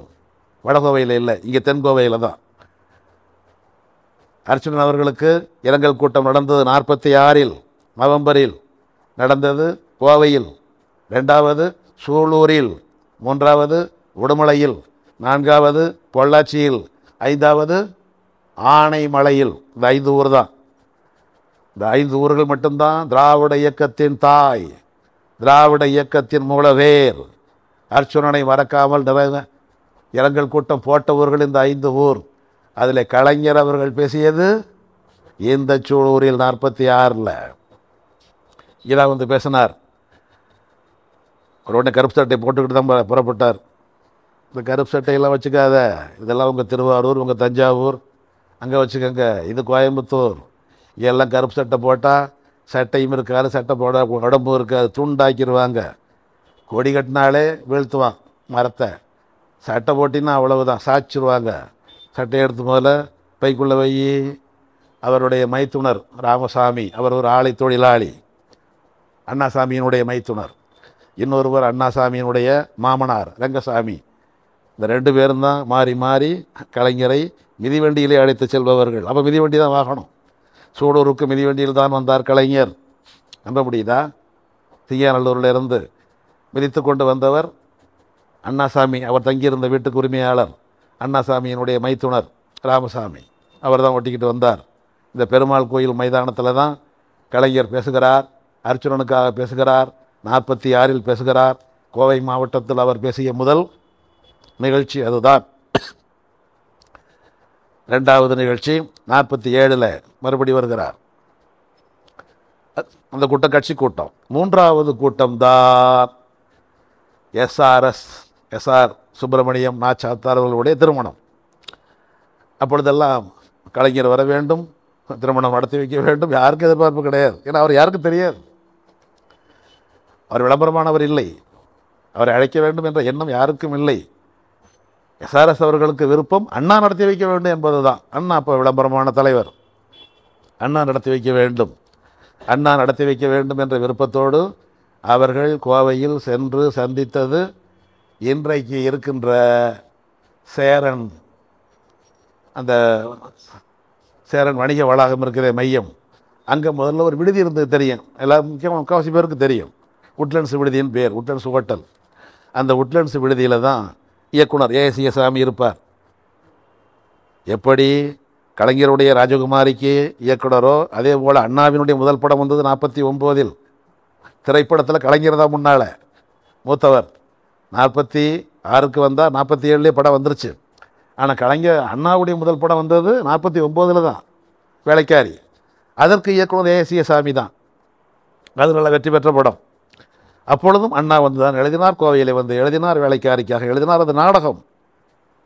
அதை படமாக்குகிற பொழுது வடிவம் வேற. இங்கே தான் மாற்றி எழுதினார். ஏசிய சாமி இங்கே தான் இருக்கார். அவரை பார்த்தோம்னா அண்ணாவை அழைத்து விடலாம் என்ற எண்ணத்தோடு எஸ்ஆர்எஸ் அவர்களும் அவருடைய நண்பர் முன்னாள் இராணுவ வீரர் நாச்சிமுத்து அவர்களும் போய் ஏசிய சாமியை பார்க்க நீண்ட- கூட்ட வரிசையாக உட்காந்துருக்குறாங்க எல்லோரும் ஒரு பலகை விசிப்பலகை போட்டிருக்கிறாங்க. இப்போ விசிப்பலகெல்லாம் போயிடுச்சு. பெஞ்சு வந்துருச்சு. ஒரு சொல்லை இழந்தால் ஒரு வரலாற்றை இழந்துருவோம். பெஞ்ச் என்பதற்கான தமிழ் சொல் கிராமத்தில் தான் நிற்கிறது விசுப்பலகை நீண்ட பலகைன்னு பொருள். அந்த விசுப்பலகையில் இவங்க ரெண்டு பேரும் உட்காந்துருக்க முன்னால் பல பேர் எல்லாம் அப்படியே நகர்ந்து நகர்ந்து போயிட்டு இருக்கிறாங்க அவரை பார்க்க. இவங்களுக்கு அடுத்து ஒருத்தர் வந்து உட்கார்றார். நெத்தியில் பெரிய பட்டை கழுத்தில் உத்தராட்ச கொட்டை. அப்படியே சைவப்பழம் மாதிரி உட்காந்துருக்கிறார் அவர் இவங்களை பார்த்து கேட்குறார். டைரக்டர் உங்களுக்கு தெரியுமா? நல்லா தெரியுமா அப்படின்னு? எங்களுக்கு தெரியாதுங்க. இவருக்கு திருமணம். அது எஸ்ஆர்எஸை காட்டி. இவருக்கு திருமணம். அதனால் அண்ணாவை அழைக்கணுங்கிறதுக்காக நாங்கள் இயக்குனரை பார்க்க வந்திருக்கிறோம். நீங்கள் நான் தான் எம்ஜி ராமச்சந்தர். மக்கள் தலைவர் எம்ஜிஆர் எம்ஜிஆர் தான் பக்கத்தில் உட்காந்துருக்கிறார் அவர் நடித்த படம் ஒன்று தானே வந்திருக்கப்போ ராஜகுமாரி. இவங்களுக்கு தெரியல. அப்போ ராமச்சந்தர் தான். பிறகு தான் எம்ஜி ராமச்சந்திரன். அதுக்கு பிறகு தான் அவருக்கு மக்கள் திலகம் புரட்சி நடிகர் புரட்சி தலைவர் அதெல்லாம் அதுக்கு பிறகு வந்தது பக்கம் பக்கம் தான் உட்காந்துருக்குறாங்க இவங்களை உள்ள கூப்பிட்டார் ஏசிய சாவி. உள்ள கூப்பிட்ட உடனே என்ன இது மாதிரி இவருக்கு திருமணம் நடத்தி வைக்க அண்ணா வரணும் அண்ணாவா ஆ அவர்லாம் வர அது கோயம்புத்தூர். அவர்லாம் வரதுக்கு வாய்ப்பே கிடையாது. என்ன அண்ணா மாதிரி நெருப்பு பொறி பறக்கிற மாதிரி ஒருத்தர் பேசுவார். அவரை ஏற்பாடு செஞ்சு கொடுக்குறேன். வேண்டாம் வேண்டாம் வேண்டாம். எங்களுக்கு அண்ணா தான் வேணும். அண்ணா வரமாட்டார். அண்ணாவுக்கு இணையாக பேசக்கூடிய ஒருத்தர் இருக்கிறாரு. அவர் வேணால் நான் ஏற்பாடு செஞ்சு கொடுக்குறேன். அப்படின்னு மீண்டும் மீண்டும் ஏசிய சாமி வலியுறுத்த சரி அவரையே தான் ஏற்பாடு செய்யுங்க. யார் அவர்? அவர் தான் ஐயா கருணாநிதி மு. கருணாநிதி அப்படின்னு ஏசிய சாமி சொல்ல இவங்களுக்கு அதை பற்றி எந்த கருத்துமே கிடையாது. வேண்டாம் விருப்பம் வர சொல்லுங்க அப்படின்ட்டாங்க அப்படி தான் வந்தது ஏஎஸ்ஏ சாமி அவர்களும் கலைஞர் அவர்களை ஏற்பாடு செய்து கொடுத்தார். அந்த திருமணம் நாற்பத்தி எட்டாம் ஆண்டு ஜூன் மாதம் பத்தாம் நாள் நடந்தது. அதுக்கு அவரோ தொடர் வண்டியில் தான் வந்தார். தொடர் வண்டியில் வந்து இறங்கி வருகிற பொழுது அப்போ அந்த நொய்யல் பாலம்லாம் கிடையாது. ஒரு குதிரை வண்டியில் போய் இறங்கி அவரை நடக்க வச்சு அவருக்கு அப்போ டிபி காச நோய் கலைஞருக்கு அதனால் எனக்கு உணவெல்லாம் வேண்டாம். சூடான பாலில் முட்டை ஊற்றி கொடுங்க இதெல்லாம் கலைஞர் கேட்குறார் அப்படி கொடுத்து இங்கே சண்முகதேவி திரையரங்கம் இது நம்ம குமரவேலுக்கு உரியது. அங்கே தான் இவர்களுடைய திருமணம் நடக்குது. அந்த திருமணத்தை கேட்கிற வரைக்கும் இங்கே இருக்கிற ஆசிரியர் கிருஷ்ணபவாத்தியார் அவர்கிட்ட நாங்கள் நேர்காணல் எடுத்தப்போ சொன்னார் எனக்கு இந்த கழகத்துக்காரன் கருப்பு சட்டைக்காரன் திராவிட இயக்கம் இதை நினச்சாலே பிடிக்காது தம்பி. அந்த எஸ்ஆர்எஸ் திருமணம் ஒன்று போய் அங்கே உட்காந்துருந்தேன் இந்த கருணாநிதினு ஒரு ஆள் பேசினா பாருங்க. பேசின உடனே சொல்லிட்டேன்ல எனக்கு ஒரு முறை சொல்லி போடுன்ட்டு. அப்படின்னு அவர் அப்படியே அந்த பேச்சு வந்து சூழலை மாற்றியது. பல பேரை எதிர்கருத்து உடையவங்களை கூட நாற்பத்தி எட்டு நாற்பத்தி ஏழுலேயே முரசொலி வந்துருச்சு. அச்சு இதெல்லாம் வந்துருச்சு. அதுக்கு முதல்ல எல்லாம் கையெழுத்து ஏடாக தான் இருந்தது. நாற்பத்தி எட்டில் இவர் வருகிற பொழுது அச்சுதல் முரசொலி வந்து விட்டது. எனக்கும் போடு ஒரு முரசொலி என்று வந்திருப்பவர்களை சொல்லுகின்ற அளவிற்கு அந்த பேச்சு எல்லாரும் ஈர்த்துருச்சு. அந்த நிகழ்ச்சியைத்தான் எழுதி கொடுத்தோம். உங்கள் தலைமையிலே தான் நடந்தது இவருடைய திருமணம். இந்த பொன்முடி அவர்களுடைய தந்தையார் திருமணம். இதுக்கு அந்த கலைஞர் மறந்துட்டார். நெஞ்சுக்கு நீதி ஏழாம் தொகுதி வந்தால் இவற்றை நான் எழுதுவேன். மேடையிலே அறிவித்தார். ஏழாம் தொகுதி வரல. இந்த செய்திகள் அவர் கொடுத்தது அப்படியே இருக்குது இணைக்கப்படுவதற்கு கலைஞர் இல்லை. கலைஞர் நூற்றாண்டு விழா தான் வந்தது. இப்பொழுது நான் நிறைவு விழா நினைவாக அவற்றை நினைவுபடுத்தி கொண்டிருக்கிறோம். அந்த கலைஞர் அவர்கள் இந்த கோவை நகரத்தில் ரெண்டே ஆண்டு தான் இருந்தார். நாற்பத்தி ஆறு இருந்தார் நாற்பத்தி ஏழு இருந்தார். அங்கே கருப்பு சட்டை போடக்கூடாது கழகக்கூடி பறக்கக்கூடாது என்று இருந்த நிலைமை இந்த ஐந்து ஊரில் மட்டும்தான் கொஞ்சம் செல்வாக்கு. மற்ற சிங்கநல்லூரெல்லாம் முற்றிலும் கிடையாது. அதை மாற்றுவது எப்படி என்று கலைஞர் நினைத்த பொழுதுதான் மக்களுக்கு புரிந்த மொழியிலே ஒன்றை பேச வேண்டும். அவர்களுக்கு எது தேவையோ அதன் வழியாக நாம் அணுக வேண்டும் என்று ஒரு படிப்பகம் தொடங்கினார். பாரதி படிப்பகம். சிங்காநல்லூரில் பாரதி படிப்பகம் இருந்ததா? இருந்தது. உருவாக்கியவர் யார்? கலைஞர். அந்த படிப்பகத்தில் எல்லா நாளேடுகளையும் இவர்களுடைய வசதிக்கேற்ற மாதிரி. அதோட கூட நம்ம இதழ்களையும். விடுதலை குடியரசு இது மாதிரி நம்ம இதழ்களையும் அப்படியே வாங்கி போடுவார். போட்டு யாரெல்லாம் நம்ம இதழ்களை அப்போ வந்த இதழ்களை எல்லாம் யார் எடுத்து படிக்கிறாங்கன்னு பார்த்து அவங்கள மட்டும் தனியாக அழைச்சிக்கிட்டு போய் இப்போ படிச்சிங்களே குடியரசு பிடிச்சிருக்கா உங்களுக்கு? இந்த கருத்தெல்லாம் எப்படி உங்களுக்கு ஏற்கக்கூடியதாக இருக்குதா அப்படின்னு பேசி அப்படித்தான் ஆர்வமுடையவர்களை அடையாளம் கண்டு கொண்டார் கலைஞர். அப்படித்தான் இங்கே இந்த இயக்கத்தை உருவாக்கினார். பாரதி படிப்பகத்தின் வழியாக அப்பொழுது இருந்த கழகத்தினுடைய மைய அலுவலகம் தியாகராயர் படிப்பகம். எல்லா ஊரிலும் தெப்பக்குளம் உண்டு. கோவையில் மட்டும்தான் தெப்பக்குளம் மைதானம் உண்டு. தெப்பக்குளமே மைதானம் ஆயிடுச்சு ஆயிரத்தி தொள்ளாயிரத்தி இருபதுலே தான் நோய் பரவுகிறது என்பதற்காக அந்த குளத்தையே தூத்து விட்டார்கள். அந்த தெப்பக்குளம் மைதானத்துக்கு அருகில் இருப்பது தான் தியாகராயர் படிப்பகம். இன்றைக்கும் அது கட்சி அலுவலகம்தான். மேலே ஓடு போட்டிருக்கும். அங்கே தான் கலைஞர் போவார். போவதற்கு அப்பொழுது இருந்த ஒரே வாகனம் குதிரை வண்டி தான் கட்டணம் ரெண்டணா. ரெண்டணா கட்டணம் கொடுத்து தியாகராயர் படிப்பகத்துக்கு கலைஞர் செல்வார். மறுபடியும் ரெண்டணா கொடுத்து சிங்காநல்லூர் வருவார். அங்கேயே தான் கொஞ்சம் கட்சி இருந்தது. அதற்கு என்ன என்றால் தியாகராயர் நீதி கட்சி உருவாக்கியவர். தியாகராயர் சார்ந்த சமூகத்தைச் சேர்ந்தவர்கள் அந்த பகுதியிலே மிகுதி. இன்றைக்கும் பார்த்தால் தியாகராயருடைய சிலை அங்கே தான் இருக்கும். புருக்ஃபீல்டுக்கு ஏற்ற போல இருக்குது இன்றைக்கி இருக்குது. சர்பி தியாகராயருடைய சிலை அங்கே தான் இருக்குது அந்த வட்டாரம் முழுக்க தியா அந்த சர்பி தியாகருடைய தியாகராயருக்கு செல்வாக்கு அதிகம். அவர் சார்ந்த சமூகத்துக்கு செல்வாக்கு அதனால் அந்த இயக்கத்துக்கும் செல்வாக்கு. அங்கே தான் இருந்த பொழுது கலைஞர் அவர்கள் மிக முக்கியமான ஒன்று இந்த கோவையில் நடந்தது. அதை பெரும்பாலான கலைஞர் வரலாற்று நூலில் விட்டு விட்டார்கள் நான் ஒரு கதை எழுதியிருக்கிறேன் என்று கலைஞர் சொல்ல அதை அந்த சுக்கரவார்பேட்டை தியாகராயர் படிப்பகம் அந்த பகுதியைச் சேர்ந்த திராவிட இயக்கத்தோட புத்தகத்தையே போட்டவர். அவர் தான் எனக்கு பேட்டி கொடுத்தார். நேர்காணம் கொடுத்தார். கிருஷ்ணமூர்த்தி அவர் பேர். கலைஞர் எழுதிய அந்த புதினம் சின்ன புத்தகம் பெரிய இடத்து பெண். பின்னாலே அதே பேரில் ஒரு திரைப்படமே வந்துச்சு. அதுதான் கலைஞருடைய முதல் புத்தகம். ரெண்டாவது பதிப்பு வெளியிட்டது தான் ஈரோட்டில். ஈரோட்டில் வெளியிட்டவர் லூருசாமி என்பவர். லூருசாமி என்ற பெயரை கலைஞர் எப்பொழுதும் மறக்கவே மாட்டார். மருத்துவர் ஜீவானந்தம் என்ற பெயரை பல பேர் கேள்விப்பட்டிருப்பீர்கள். ஜீவானந்தத்தினுடைய மாமா லூருசாமி என்பவர் ஈரோட்டில். அது அது ரெண்டாம் பதிப்பு தான் அவர் வெளியிட்டது. முதல் பதிப்பு வெளியிட்டது கோவையில் தாங்க வெளியிட்டோம். அப்போ தான் கடலூர் மாநாடு கடலூர் மாநாட்டுக்கு எடுத்துக்கிட்டு போனால் அத்தனை விற்று போச்சு. அதனால் அந்த புத்தகம் வந்ததுக்கான ஒரு சுவடே தெரியல. கலைஞரினுடைய நூலை வெளியிட்டதும் இந்த கோவை தான். கலைஞருக்கான அடையாளத்தை உருவாக்கி கொடுத்ததும் கோவை தான்.